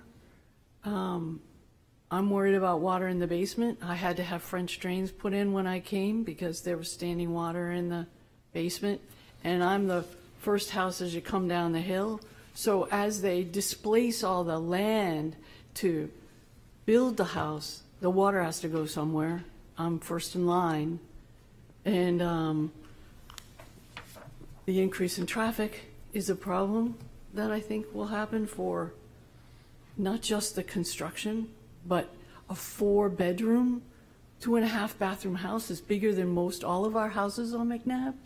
And the size and the scale is not in proportion with what the neighborhood is. Um, having a one-car garage, there's no way a four-bedroom house is only going to have one car. Um, they're going to grow up and be teenagers and have to have their own car. Um, I think my neighbors have said most of the other things, but the, f- the variance is Excuse me, about. Could you the- speak up just a little bit, please? The variance Thank- is. thank you. About, the frontage is right in front of my front stoop, and that's where the fire plug is. There isn't hardly 30 feet there. It will take away between Alex's my front yard. Uh, Enough said. Thank you. Thank you. Other, uh, other speakers, please? Please come forward. Hi. Thank you. I assume this is the mic you want me to talk into? Yes, that, that would be great. Marvelous. Can everyone hear me? Great. Uh, my name is Ryan Russman. I live at 137 Elwyn Avenue, and I actually am one of the uh, property owners who has access to his garage on the back side of this property. In fact, the house next to me also has access to their garage on the back side of this property. So when we talk about the actual area that is being used for the egress of this property, you're going to, or this road, excuse me, you're going to have to also take into consideration those houses that are on Elwyn Avenue, including um, the, the realtor who, who spoke in uh, support of this particular uh, discussion. So I want to talk to you about this particular street, not necessarily about the water, because I think that's been really well covered, but I do want to talk to you about parking and about actually the, how the roadway is laid out. Now, this is this the is this the little device that shows you? If you hold it, it'll hold I'm holding it in. the top button. Three years, four years of, of college, and three years of law school. I can't seem to use this thing. Um, can I walk up to it? I speak really If you- loud. If you, so if you grab the portable mic there, you can. Awesome. Can you hear me now? There you go. I feel like I'm a comic. Um, I wish I was funny, but I'm not. But what I want to tell you guys is this: that here's McNabb Court. This is uh, my driveway down here, and so what happens is you, you, they're all talking about plows. Well, if they actually lived on our street, they talked to us, they knew what they were talking about, which they don't. They know that they don't use a plow on this street. They use a backhoe. And if you know anything about a backhoe, I know you're a realtor, so maybe you've done construction. It actually has a large claw off the back, and so when you swing that, you're actually going to have to make this corner and this corner much more challenging, which means if they intend to put a plow down here as the backhoe, which is what they use, makes this corner, the back end of that device is actually going to swing across this way. In addition to that, what's also going to happen is when we have a snow placement here, what they're also not talking about is that they salt our road. Um, born and raised in New Hampshire. Uh, we still put sand and salt on the road, and so when the snow melts, the water with the snow also is pressed into the land. There's something called riparian rights. It's a silly legal word, but it talks about how water t- topography works. And so the, the difficulty here is that if their intention is to move snow and to put it here like it's somehow saving us, you're actually going to be killing everybody's grass on the back side of this because I happen to live here.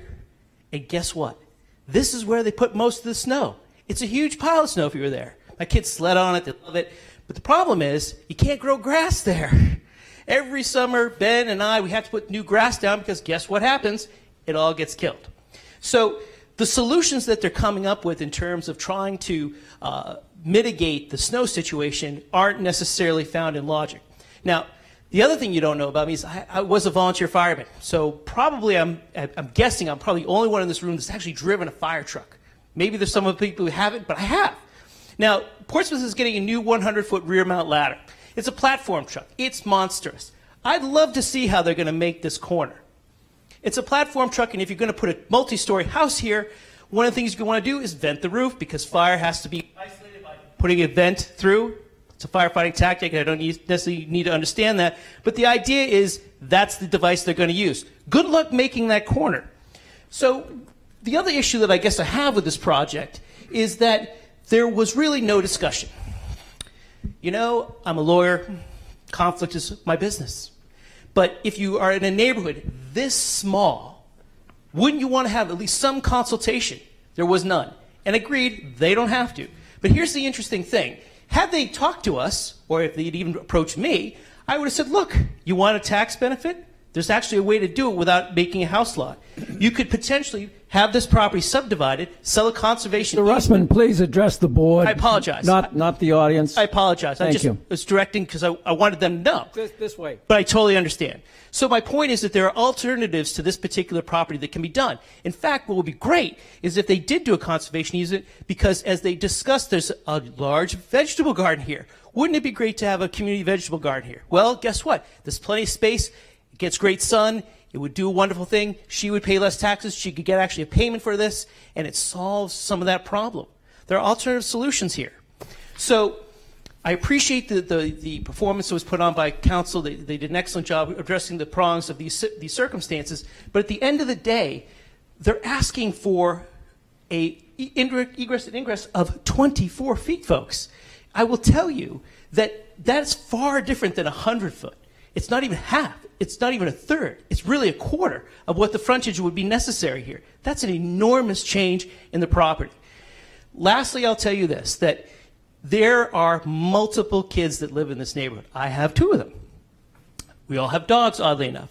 And because we live in Portsmouth and we all know that this small area, congested area, guess where the kids play ball? Because we don't have backyards. Here. What's interesting about it is this portrayal that somehow there is this great relationship with all of us as neighbors. I, there's a fence here. When balls and things go over the yard, the kids get yelled at. So the fact is that if you now put a street with more cars on here, you're actually going to make this stretch of road even more dangerous. And it is absolutely true. The neighborhood pours into here. And the reason why is because it's dead end here and it's dead end here. Parents on Elwyn Avenue don't have to worry about the kids playing in the street because there isn't the kind of traffic out there. So, for the reasons that I've stated, I think that there are multiple ways that this process can be reviewed, and, and perhaps they could come back at, at, with a, another proposal. But the variants that have been proposed, I'll come back to the mic. The variances that have been asked for are extraordinary. The care that they've taken to address the community has been poor. And the reality is that the ask in this case, the ask is for 100 foot down to 24 feet is enormous. They haven't given any due consideration to this, and if they'd actually gone to the property, talked to the public works, they would know how the road was plowed. They would have some understanding of the issues in terms of riparian rights and the water problems that we all have. But that was never done. And if you would like rebuttal, then I would like sir rebuttal. Thank you.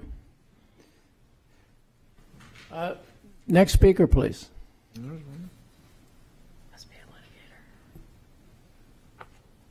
Wow, I'd say I have bad timing to go after him, but um, I am Nina Fox Herlihy. I'm the owner of 60 Lincoln Avenue, but I live at 55 Lang Road in Rye. I am going to repeat some of the things that were said, not all of them, but I was surprised when on page four of the Durbin Law Letter, it also said that the applicant had been um, had taken a conscientious approach to the um, development of engaging surrounding property owners. I was never contacted, as many others have said, they were never contacted. I first heard about this also from receiving the letter about this meeting. I understand it's not a legal, a legal thing that they have to do, but then it shouldn't be stated by their lawyer in a letter that it was done. That's misleading and not true. I don't know if it's customary for a builder to contact finally abutters, of which I am, on the north side, next to the LaCavas on Lincoln Ave. I don't know if it's customary to contact abutters literally less than a week before this neighbor, this meeting, to ask them if they have any concerns. To me, timing is everything, and that timing is way off. I've, I've crossed a lot of things off as I listen to other people to make this shorter. I too have water problems existing now. Um, the, the property that, line, that is at the bottom, the bottom of this field lines up against my back, my back area. And it has not a puddle, but oftentimes in heavy rains or after snows and thaws, it actually has a pool of standing water. This happens in the summer too, which increases a health risk because of standing water and mosquitoes. Um, I haven't lived on McNabb Court, so I did just learn about the backhoe, but I was, I was concerned with the, the possibility of pushing more liquid into the middle of the field to then melt down and continue to increase the probability of our basements being flooded. Again, we're in a low area. It comes right down Kent Street, right into my cellar. I have two sump pumps. I have French drains. So I could not see, I mean, I had my magnifying glass out, first of all, with the plans. The writing's so small, I'm sure some of you can see that problem. Trying to figure out where the drainage was they were talking about. I don't see it. Um, I don't see any hydrology studies, and Ambit may have done it, but I don't see them in, anywhere in the plan. Um, and, and I just think this plan you know, they're saying that it's being addressed. I'm uncomfortable having a variance passed to move this property forward until there is drainage issues and solutions in place.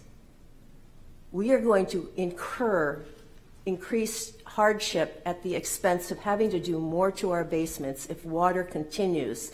It's going to come off those roads right down that hill it affects the houses on McNabb Court. It affects us very much at the bottom. Um, there was also, I, I, will go back to that. Um, so again, I, I think drainage solutions and remedies should be in place before any variances are passed. I too have concern about safety on McNabb Court, although it doesn't affect me directly. Um, this is, I am part of that neighborhood with people passing by. Um, I lived there for many years before I got married and moved to Rye, and I have hopes of someday, either the both of us or in the worst case scenario, me moving back to age and place in that house. So this is very much of a concern and a long-term concern. I bought my house in 1989. I've been there a long time. I've owned it a long time. I believe neighbors have a right to make changes to their properties and this is shown by the fact that if you look back, I did not have one grievance or complaint about variances with the property at 54 Lincoln Ave when it was built. It is literally a driveway away from my house. The changes they proposed were reasonable. The new owners were forthcoming. They drove out to Rye with their plans before they even started to do anything, and we talked. Yes, um, I did, it impacted my views of the park, both in the front and the back. But it did not cause any potential structural or safety issues to my property and others in the neighborhood, like the subdivision of 405 South Street does. I think the proposed subdivision impacts the entire neighborhood and in butters in a negative way. The only one that I see it does not affect negatively is the owner, who, who I've had very pleasant dealings with over the years, um, who wants to subdivide it. Um, Durbin um, mentioned that abutting proper, properties, I believe he said on Lincoln Ave, have garage. I do not have a garage. I am one of the two direct abutters on Lincoln Ave, and the LaCavas has always struck me as a shed. It houses a motorcycle. so I'm not sure what they, again, are referring to. I feel there's been a lot of inaccuracies, a lot of poor handling of this whole plan, um, lack of transparency, and I, I act, I ask that, that before any variances are granted, that these drainage and other impacts, safety on, for children and, and residents and narrow, I mean, McNabb Court's not even a road, it's tiny. I, I ask that before variances are granted for this project, all these things are considered and remedied. Thank you very much. Thank thank you. Nick, are there any more speakers? Yes? Come up, please. I'll make this very brief. My name is Brandon Seppa. I'm at 151 Elwyn Ave. Um, so my, my property abuts Elwyn Ave on the front and McNabb Court on the back. Um, so it is actually my yard into which all of the piled snow piles uh, every year, and actually we love it, uh, for the record. Uh, my kids play on it constantly when they come home from school. For the record, I too was not consulted um, as any part of the planning process here. I just want to put a finer point on the discussion about safety. Uh, it was mentioned there are actually 11 children uh, in that very short stretch. Some of you, it sounds like you visited the property, the, the street today or yesterday. That very short stretch, only a few hundred feet, there are actually 11 children on that stretch, only three of which are older than 13. Okay? No sidewalks, no curb, nothing like this, right? We, in fact, during the summer months, uh, some of us strategize in the neighborhood about placing temporary bollards in the street to slow the delivery vehicles, to create obstacles, to force them to slow down, particularly as they take that that 90 degree turn that's completely blind, right? So, um, and as Mr. Russman said about Please address the board. Oh, uh, okay. I was just. I'm No, sorry. I was just gesturing for Mr. Russman. Please address us. Yeah, yeah, fair enough.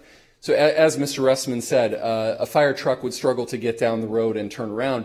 Understand that even delivery vehicles, like Amazon delivery vehicles, which are designed to balance capacity with turning radius, can't turn around on McNabb Court. In fact, Mr. Russman uh, built a new driveway recently in his yard uh, that was crushed by such a delivery vehicle not too long ago because the vehicle was struggling to turn around. So I'm struggling to understand, and granted, I'm not an expert in construction, uh, how earth movers, ditch diggers, concrete vehicles, etc., are going to safely move up and down McNabb Court to see this construction through. Thank you. Thank you. Anybody, anybody else? Any, any final, final call? Okay, come up, please.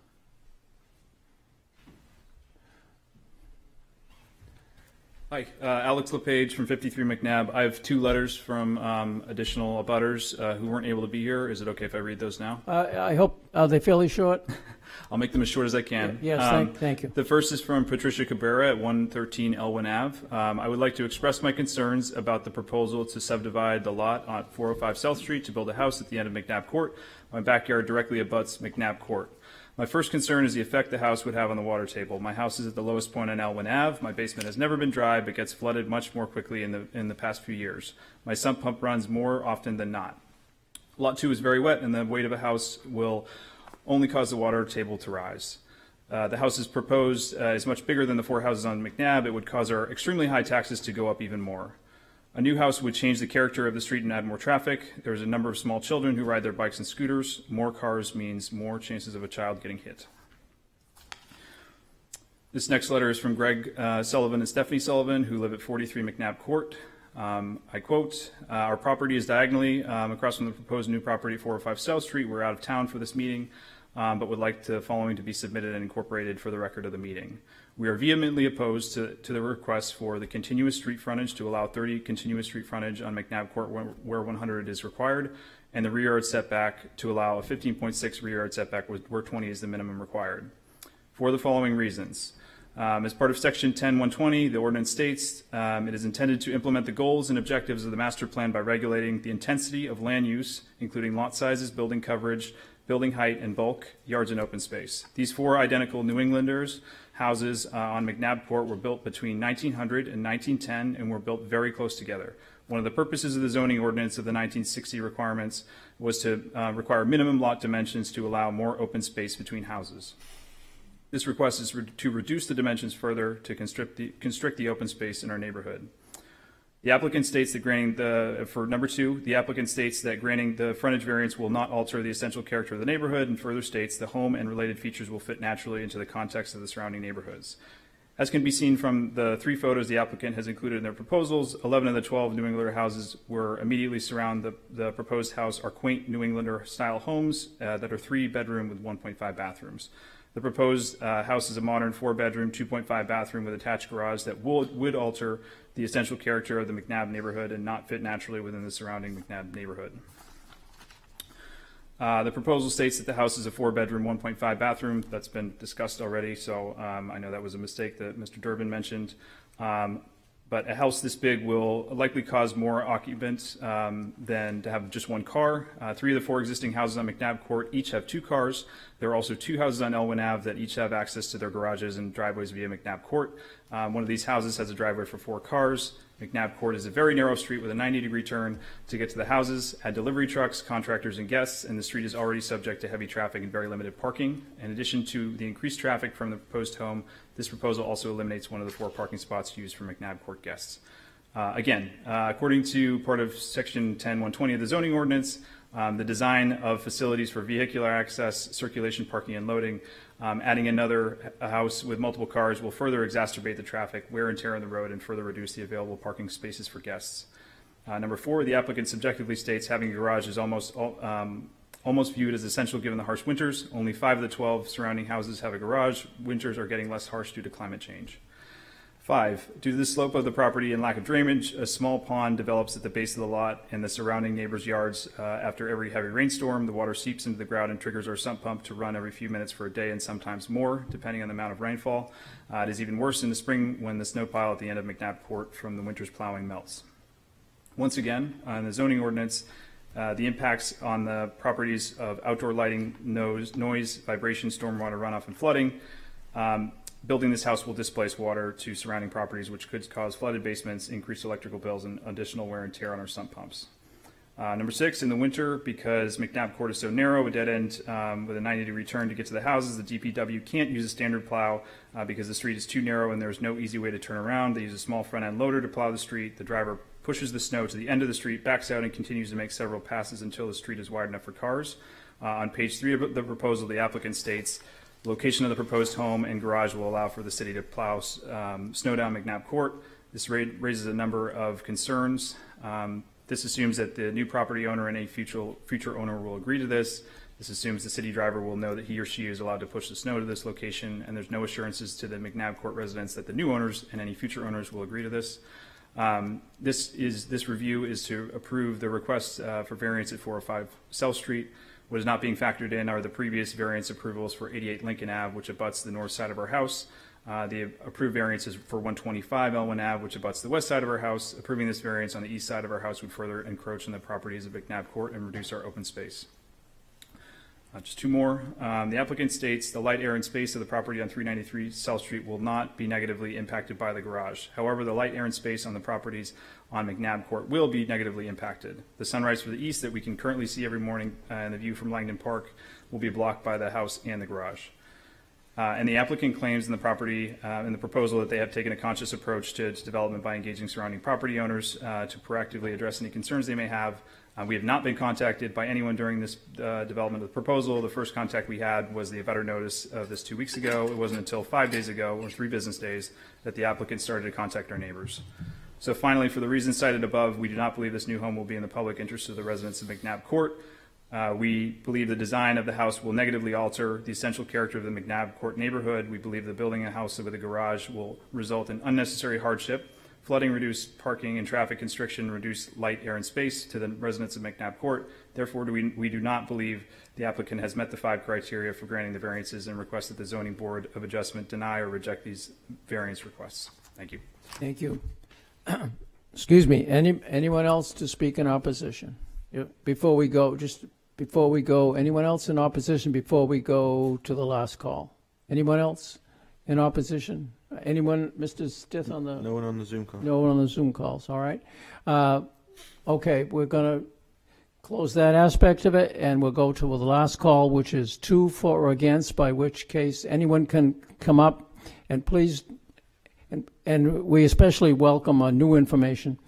Uh, Two, for are against, and no time limit, but please be succinct, and particularly if you have new in- information, we appreciate that. Thank you. Okay, my name is Derek Rolfe, and I live at 419 South Street. We um, directly abut Julie's property, um, and I'll try to be as short as I can on this one. Um, we've been there for 20 years, and I believe when we originally moved in, Julie's mother and her brother had lived in the house, um, and then since then, Julie has taken occupancy of it. Um, and you heard her story of her family having the house for generations, and I believe that's her hope for the property. Uh, she had once said to me years ago that she would sell the property over her dead body. Um, so I think that she has reached a point where she has no other choice, and she's hoping to maintain the house and her family. Um, and I'm hoping that there's some solution we can find for her to do it. Um, but you've also heard from a lot of neighbors around there that have some very legitimate concerns. Uh, you heard a lot about the water. Um, I don't need to go into that. I think you've got the sense for how bad that is. Um, but they have real legitimate concerns, and I'm hoping that there's some remediations that can be found um, to address those concerns. Possibly having a third party come in and validate any solutions that it won't make the situation worse for any of the surrounding homes. So good. Thank you. Thank you. Two, four against? Two, four against? Yeah. Thank you, Mr. Chairman, members of the board. Again, for the record, Attorney Derek Durbin, representing the applicant. Um, I'll just briefly touch upon a couple of larger themes. Um, The first, access, safety, um, getting to the property. Um, I know there's been a lot of um, testimony before the board about that. Um, Again, I think there's a common misperception here, is that this is a dead-end street. You can't use that end of McNabb Court. You know, we can, we have legal parking at the end of the street, all that. Um, that all exists because my client has a fence there. Um, my client could remove the fence, could use that as access, could construct, again, a structure of similar dimension to what she's proposing now, or construct any other type of driveway access in there. Of course, there's going to be input from Public Works, same as there is here. Um, in fact, I know it was stated that we must not have um, had any input from Public Works. Clearly identified to the board before this has been through a TAC work session. There has been input from Public Works. Public Works would like to see the snow um, taken into the left. Um, this is the, the reason, the entire reason the garage was, we're asking for a rear yard setback is to create that turning radius in that's safe and to be able to turn back out and drive back down McNabb Court. Um, so these concerns have been addressed. I know um, John Chagnon would like to speak sp- more specifically about the safety issues associated with the access, um, emergency vehicle access, and, and things of that nature.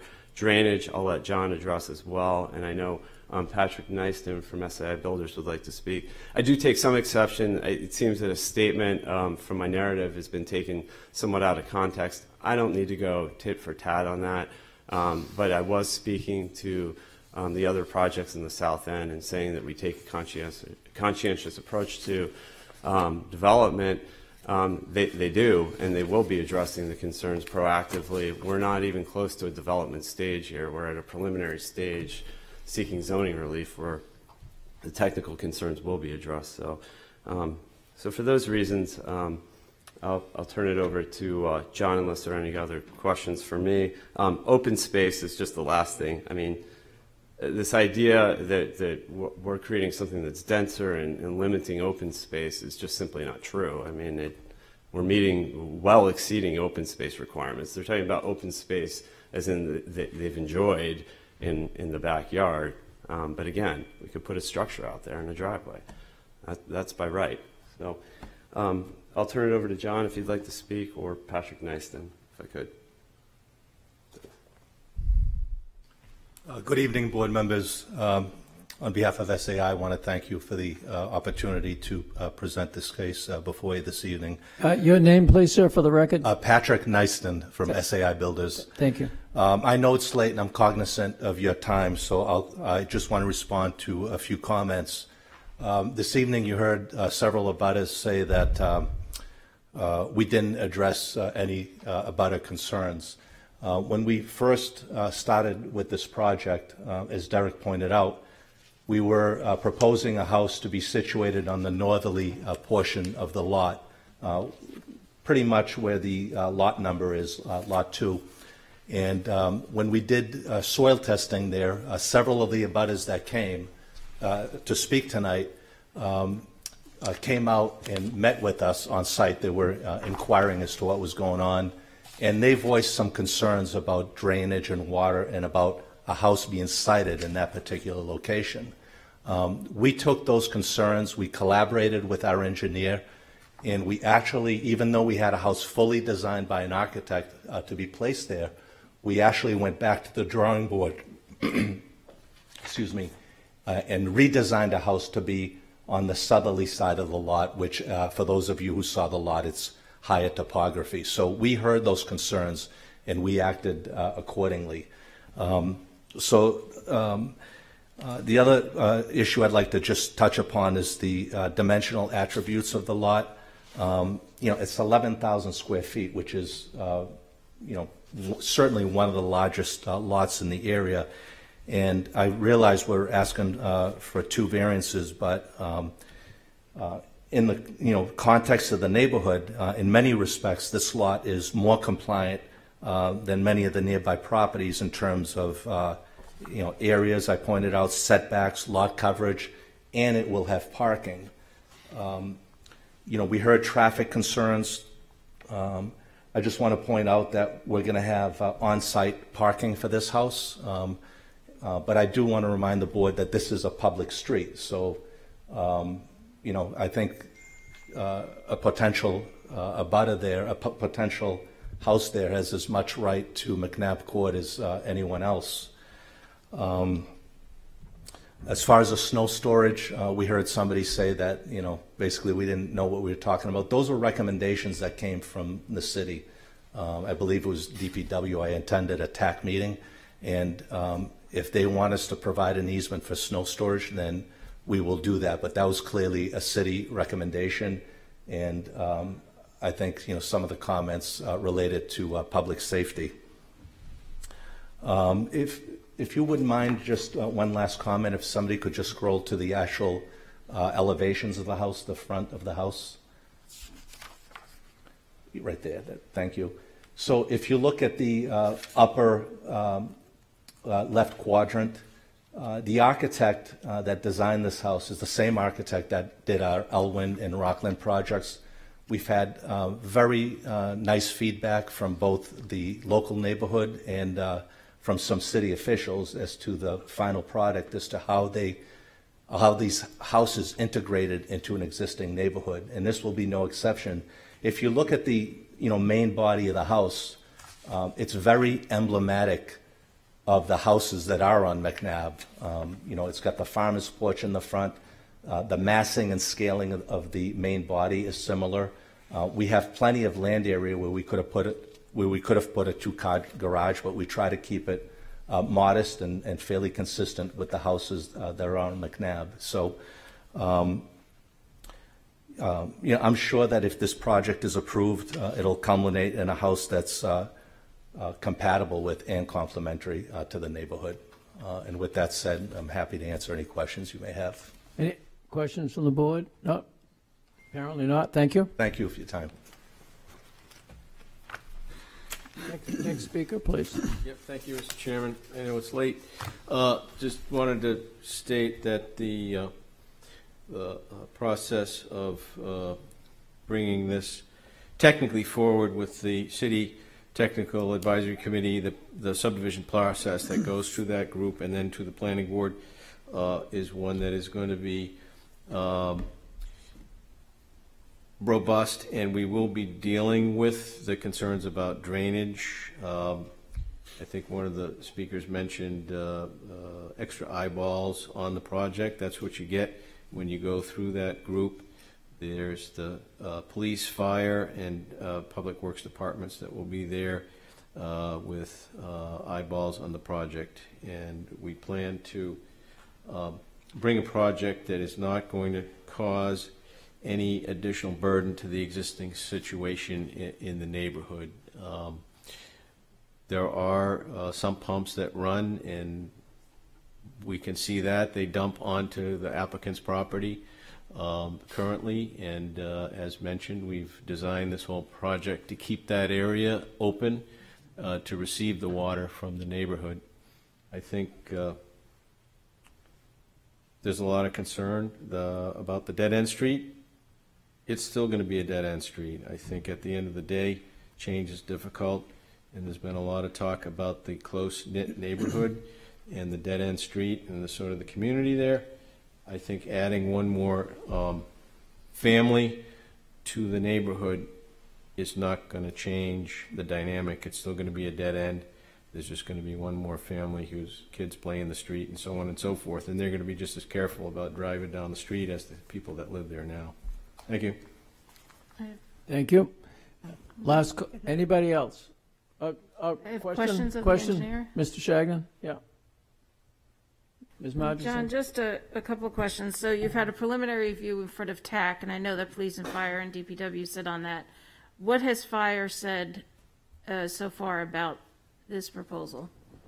So they have not raised any concerns uh, about the proposal. Um, They were fine with it. They, they didn't say that there needed to be studies of vehicle movements or traffic uh, uh, getting uh, apparatus down there. I think the, as mentioned, somebody mentioned the the hydrant at the end of the street, and um, they didn't ask for additional firefighting measures. Um, I think that hydrant at the end is a good thing, provides for the safety of um, the homes that are there and this future home. And in terms of, one of the abutters spoke about the frontage actually being 24 feet and some of it actually being on, um, being on another property. Yeah, so that's a good point. I think if you turn to the, um, the amount of frontage is 30 feet. Uh, What happens is that the, um, the right-of-way for McNabb Court, the public portion uh, on the south side cuts very close to the porches. So that, uh, for example, I think that's 54, they have a landscape area and steps that are in the public right-of-way.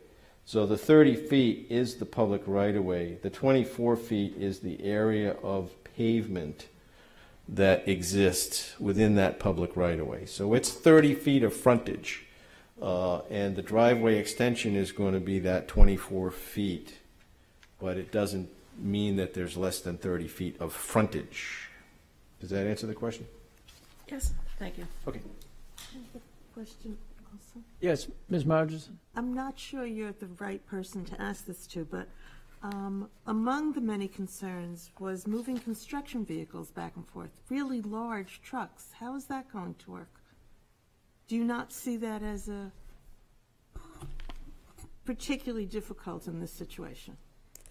Uh, I don't know if particularly difficult is the right word, but yes, an imposition temporarily on the neighborhood, yes. Uh, You know, and that's what happens with construction. I'm not the expert. Uh, I don't know if the builder wants to talk about it, but I'm sure there's ways that they can work with the neighborhood to try to minimize the impact of construction. But, Okay. you know, whenever you have construction, if one of these homes was to be remodeled, they'd have the same issue with people having to park their vehicles to work on the house, in the street, and so on And and so and forth. that's true. Yeah, okay. But you're digging a foundation, so that's a little more. But you're right. Yeah. There would be vehicles. Yeah, they might have to uh, drop the lowboy on uh, the straight part of McNabb Court, drive the backhoe over, you know, uh, so as not, because they're not going to be able to uh, drop the uh, vehicle right at the lot. Uh, They might uh, employ things like that, where they're uh, sort of driving to the site and not trying to unload at the site. Now, getting the construction, the concrete truck, yeah, that's going to be one issue that uh, I think it's going to make the turn.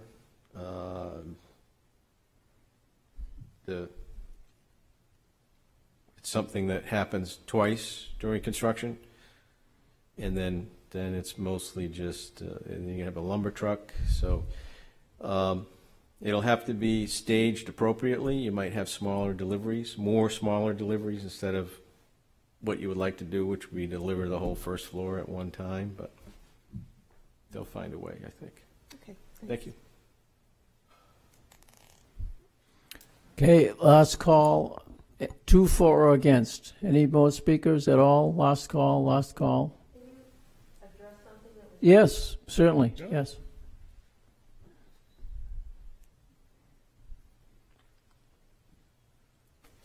Again, Nina Herlihy. Unless I misunderstood, um, Patrick Nyan just said that he spoke with the two property owners on the north side, which would be the LaCavas and myself, and neither one of us was spoken to him by him. I don't know who he spoke to, but it was not one of the owners. Um, Unless I misunderstood him, it wasn't us. All right, thank you. Uh, I can respond to that. Um, I spoke with, uh, when we did the test pits, I spoke with, I didn't say on the north side, by the way, but I spoke with Mr. LePage, who's the director of butter. Um, I believe I spoke with um, Lucinda, I don't remember her, her last name, and I spoke to the gentleman that just uh, built the large house at the corner of uh, Lincoln and McNabb, number 88. These, these folks uh, came to the property uh, inquiring as to what's going on, and we had some conversations, not only with myself, but I believe uh, uh, John or, or somebody from Ambit Engineering was there, as well as my construction manager, and the property owner was there as well. Okay, thank you. All right. Uh, Any, any- Mr. Stith, anybody on Zoom? Uh, no one has raised their hand. No one has raised their hand, okay. Any, last call, speaking of raising, it, anybody, anybody last call? Yes, okay, th- you'll, you'll be the last speaker, thank you. Lucinda Lloyd, 54, McNabb. No one has even mentioned tonight that Lot 1 and Lot 2 originate on South Street. Why couldn't access be through South Street? Why does McNabb even have to be dealt with? There's bigger frontage on South Street that could be a shared easement of driveway to make it go down. And it just doesn't seem like you need to even affect McNabb, come through a different access, a larger, bigger road is South Street. All right, is anybody on the, on the team want to, design, want to address that? You don't have to. Uh, I, I think that uh, the grade change would, would be difficult to do that. Uh, The applicant would have to take out their garage, which just stands in the way. And at the end of the day, you would, it would require a much more paved area, which would be much more runoff. Okay, thank you. All right. All right, this is the, the really the last call. All right.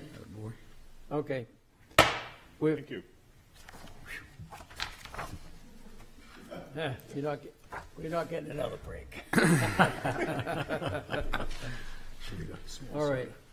Okay, uh, Board, we've had an extensive discussion here. Does someone want to, I have a question for you, Mr. Chairman. pl- please? Uh, On issues of drainage and mitigation, uh, is that our remit, or is that the remit of the Technical Advisory Any, Committee? anybody can present anything to us that they want. And It's a public session, and we can, we can take it as, for what it's worth. We, ha- we have to consider everything that we hear, yes. Is that one of our criteria? Depends on how you look at it. Probably not, specifically, yeah. But we can, we can consider anything we hear. Thank Because this is a public session, yeah. Okay. Ms. Ms. Margeson? Um, I, y- you know, I, I, this is a, a tough application. I think Attorney Durbin did an absolutely outstanding job with, uh, the presentation.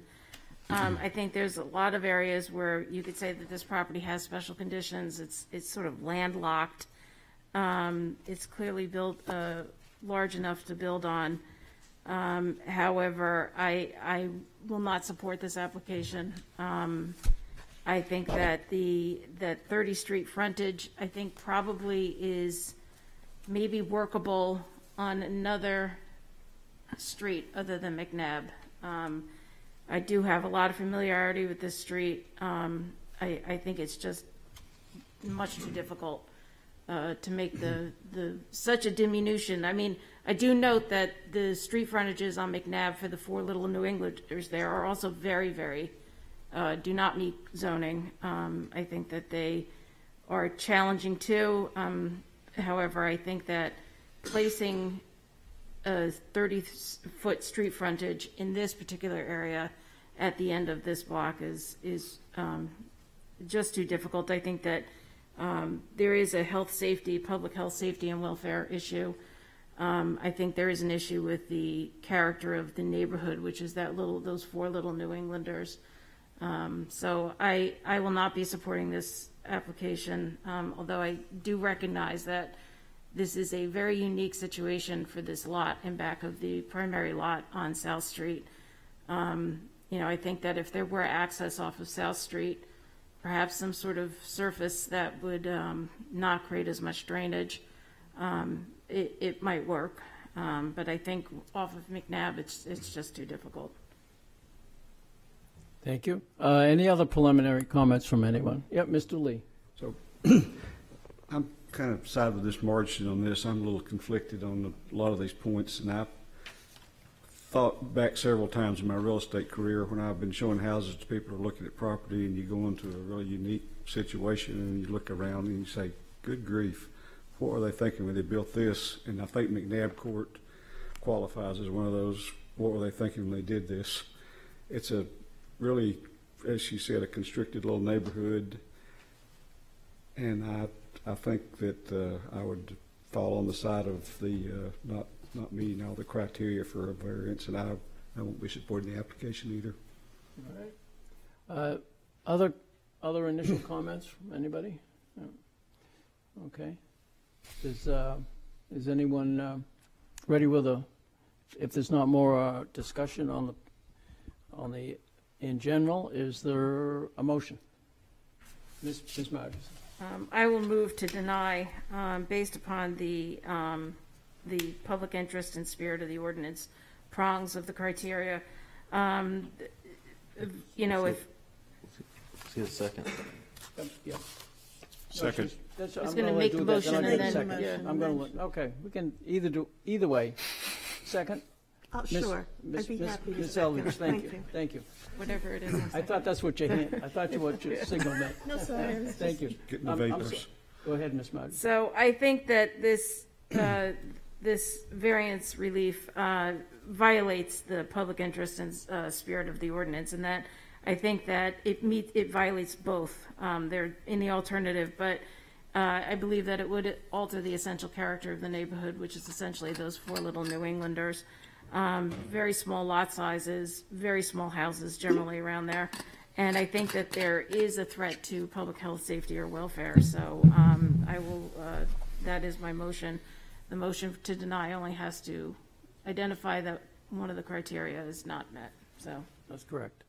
Uh, Ms. Eldridge, And I agree, and have nothing to add. nothing further, okay? Anybody, anybody, Mr. Mannle? I'll throw this out there, and, and I appreciate the presentation um, and all the comments, both for and against.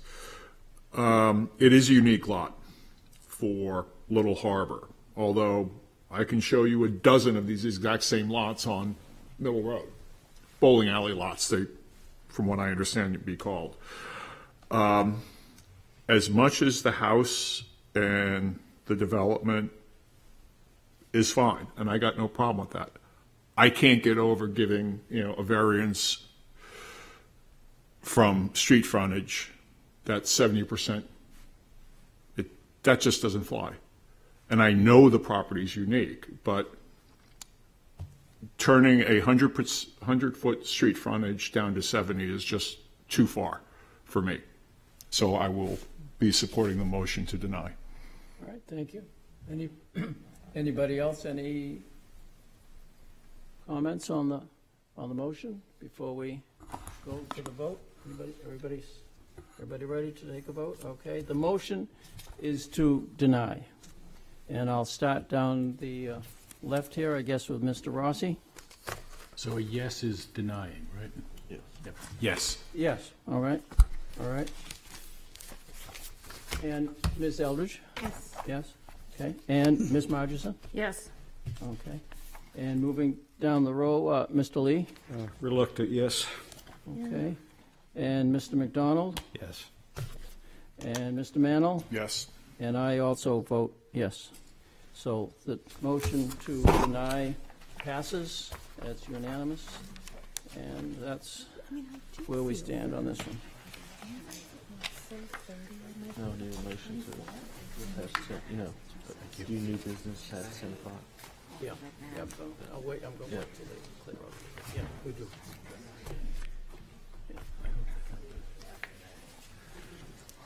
Peter, do you learn how to use this thing?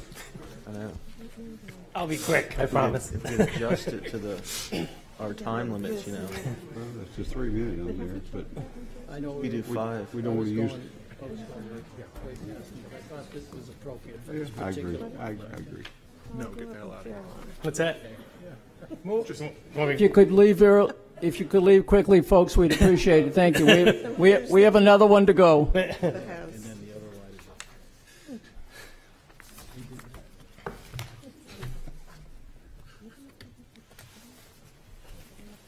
You're too polite, Uh, Volume really helps there. Yes, it does. Okay. Would you like me to Uh, start, or? Former, former chairman used to say our favorite uh, petition of the evening. The last one? The last one, exactly. Hopefully this one's not as complicated.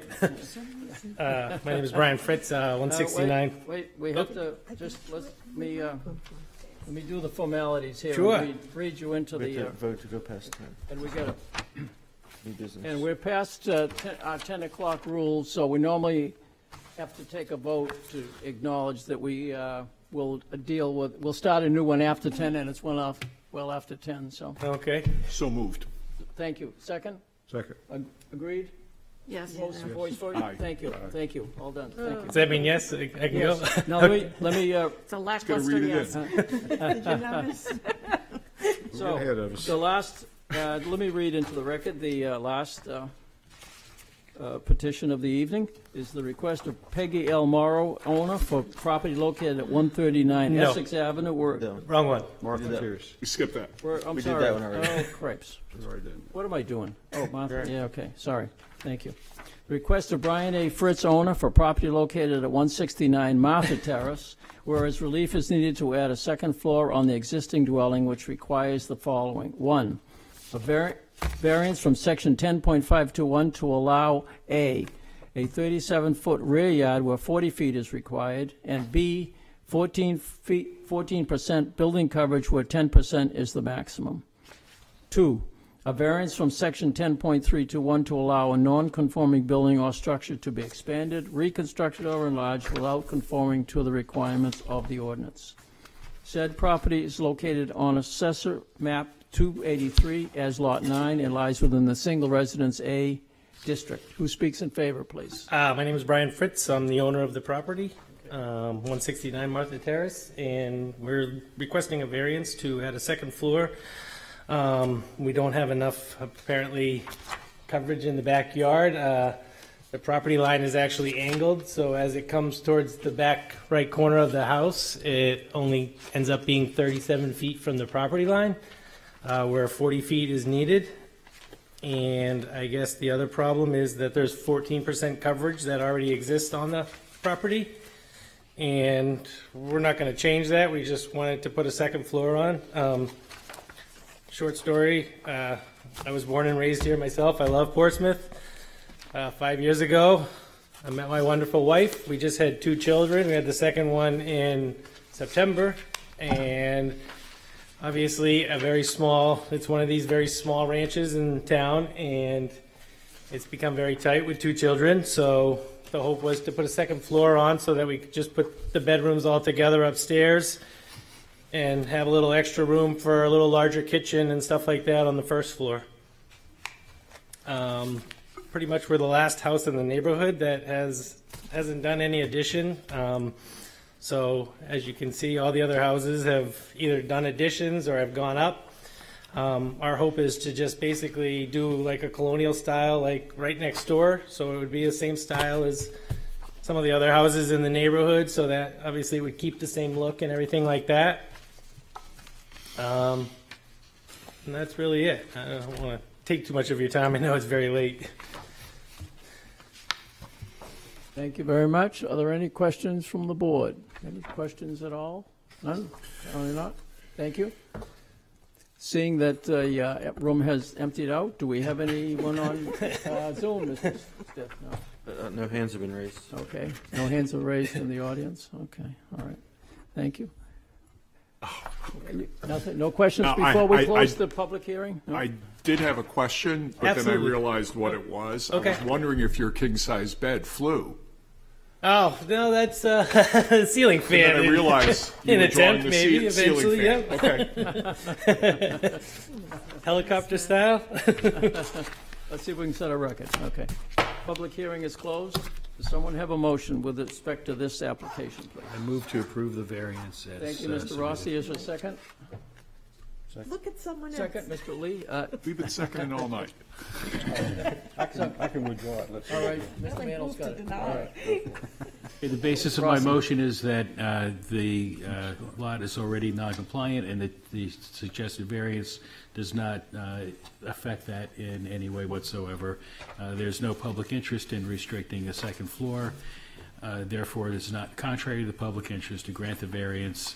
Uh, The spirit of the ordinance is observed. Uh, This is a single-family residence area, and this enhances the value of the property for single residence, uh, for single-family use. Uh, The grant, uh, substantial justice because nobody in the area is sacrificing anything for the benefit of the homeowner. The variance is not going to diminish the value of the surrounding properties, uh, and uh, it would be an unnecessary hardship to uh, require that this lot be brought into compliance in order to add a second floor. Thank you. Mr. Mannle, anything to? I agree. I mean, this is a little less, they're going up second, second story. Yeah, I support the motion. Pretty simple and straightforward. Yeah. Yes, I, I, I agree also. Great pick for the last one, though. Yeah, yes. yes. Right? Slam dunk. You were lucky you Yeah. followed. We appreciate last you, one. brother. I know. I've been waiting patiently. You have to vote on it. Okay. those, Yes, uh, we do have to vote on it. Here's my uh, voting sheet. I'll let, I'll let Mr., uh, I got it back. Buried. Uh, You did. All right. Uh, Let's, we'll start down at the right-hand side here. Mis- Mr. Mannle? Yes. Mr. Mr. McDonald? Yes. Mr. Lee? Yes. Ms. Mar- Ms. Margeson? Yes. Ms. Eldridge? And Mr. Rossi? Yes. And I Yes. vote Yes as well. Thank you all very much. for your Thank you patience. very much, and Oh, my little welcome. clips. thank you for staying late for me. I know you guys want to go home too. So, thank you. Yeah, you're Motion to welcome. adjourn? You're welcome. Second? Wait, Those Can I, in- can I just say one thing? Please. About the, I sent the email out about moving to iPads. Yeah. Yes. Yes, yes, Um, please do. So, I, well, I did send it out. Yes, I, I Okay. saw it. I saw your email, Um, yeah. So if before now in the next meeting you could set up time with Isaac, who I copied on the email. He'll he'll if you come in, he'll give you like a tutorial on on how to download the packet and everything Oh, great. and use the bookmarks and stuff. Okay, so you reckon, give, call- give him a call. Give him a so- call and, sure. and then just go come in and get your iPad and he'll set you up. So. Okay. Great. Well, you We get still want You another want to get you one? want a city one, yeah. You want a city Yeah. one? Okay. No more folders the and web sticky on notes. Should make an appointment before we go in? You should. With Isaac? Yeah. Okay. yeah, yeah. All right. So that's all. We had, I, I, I heard a motion to adjourn. Motion to adjourn? And, and it was a second. And there was a second. And, And and lots of and a vote, ayes. how about a voice vote? Aye. I, I, Aye. um, Thank you all for your patience. No, let's stay longer.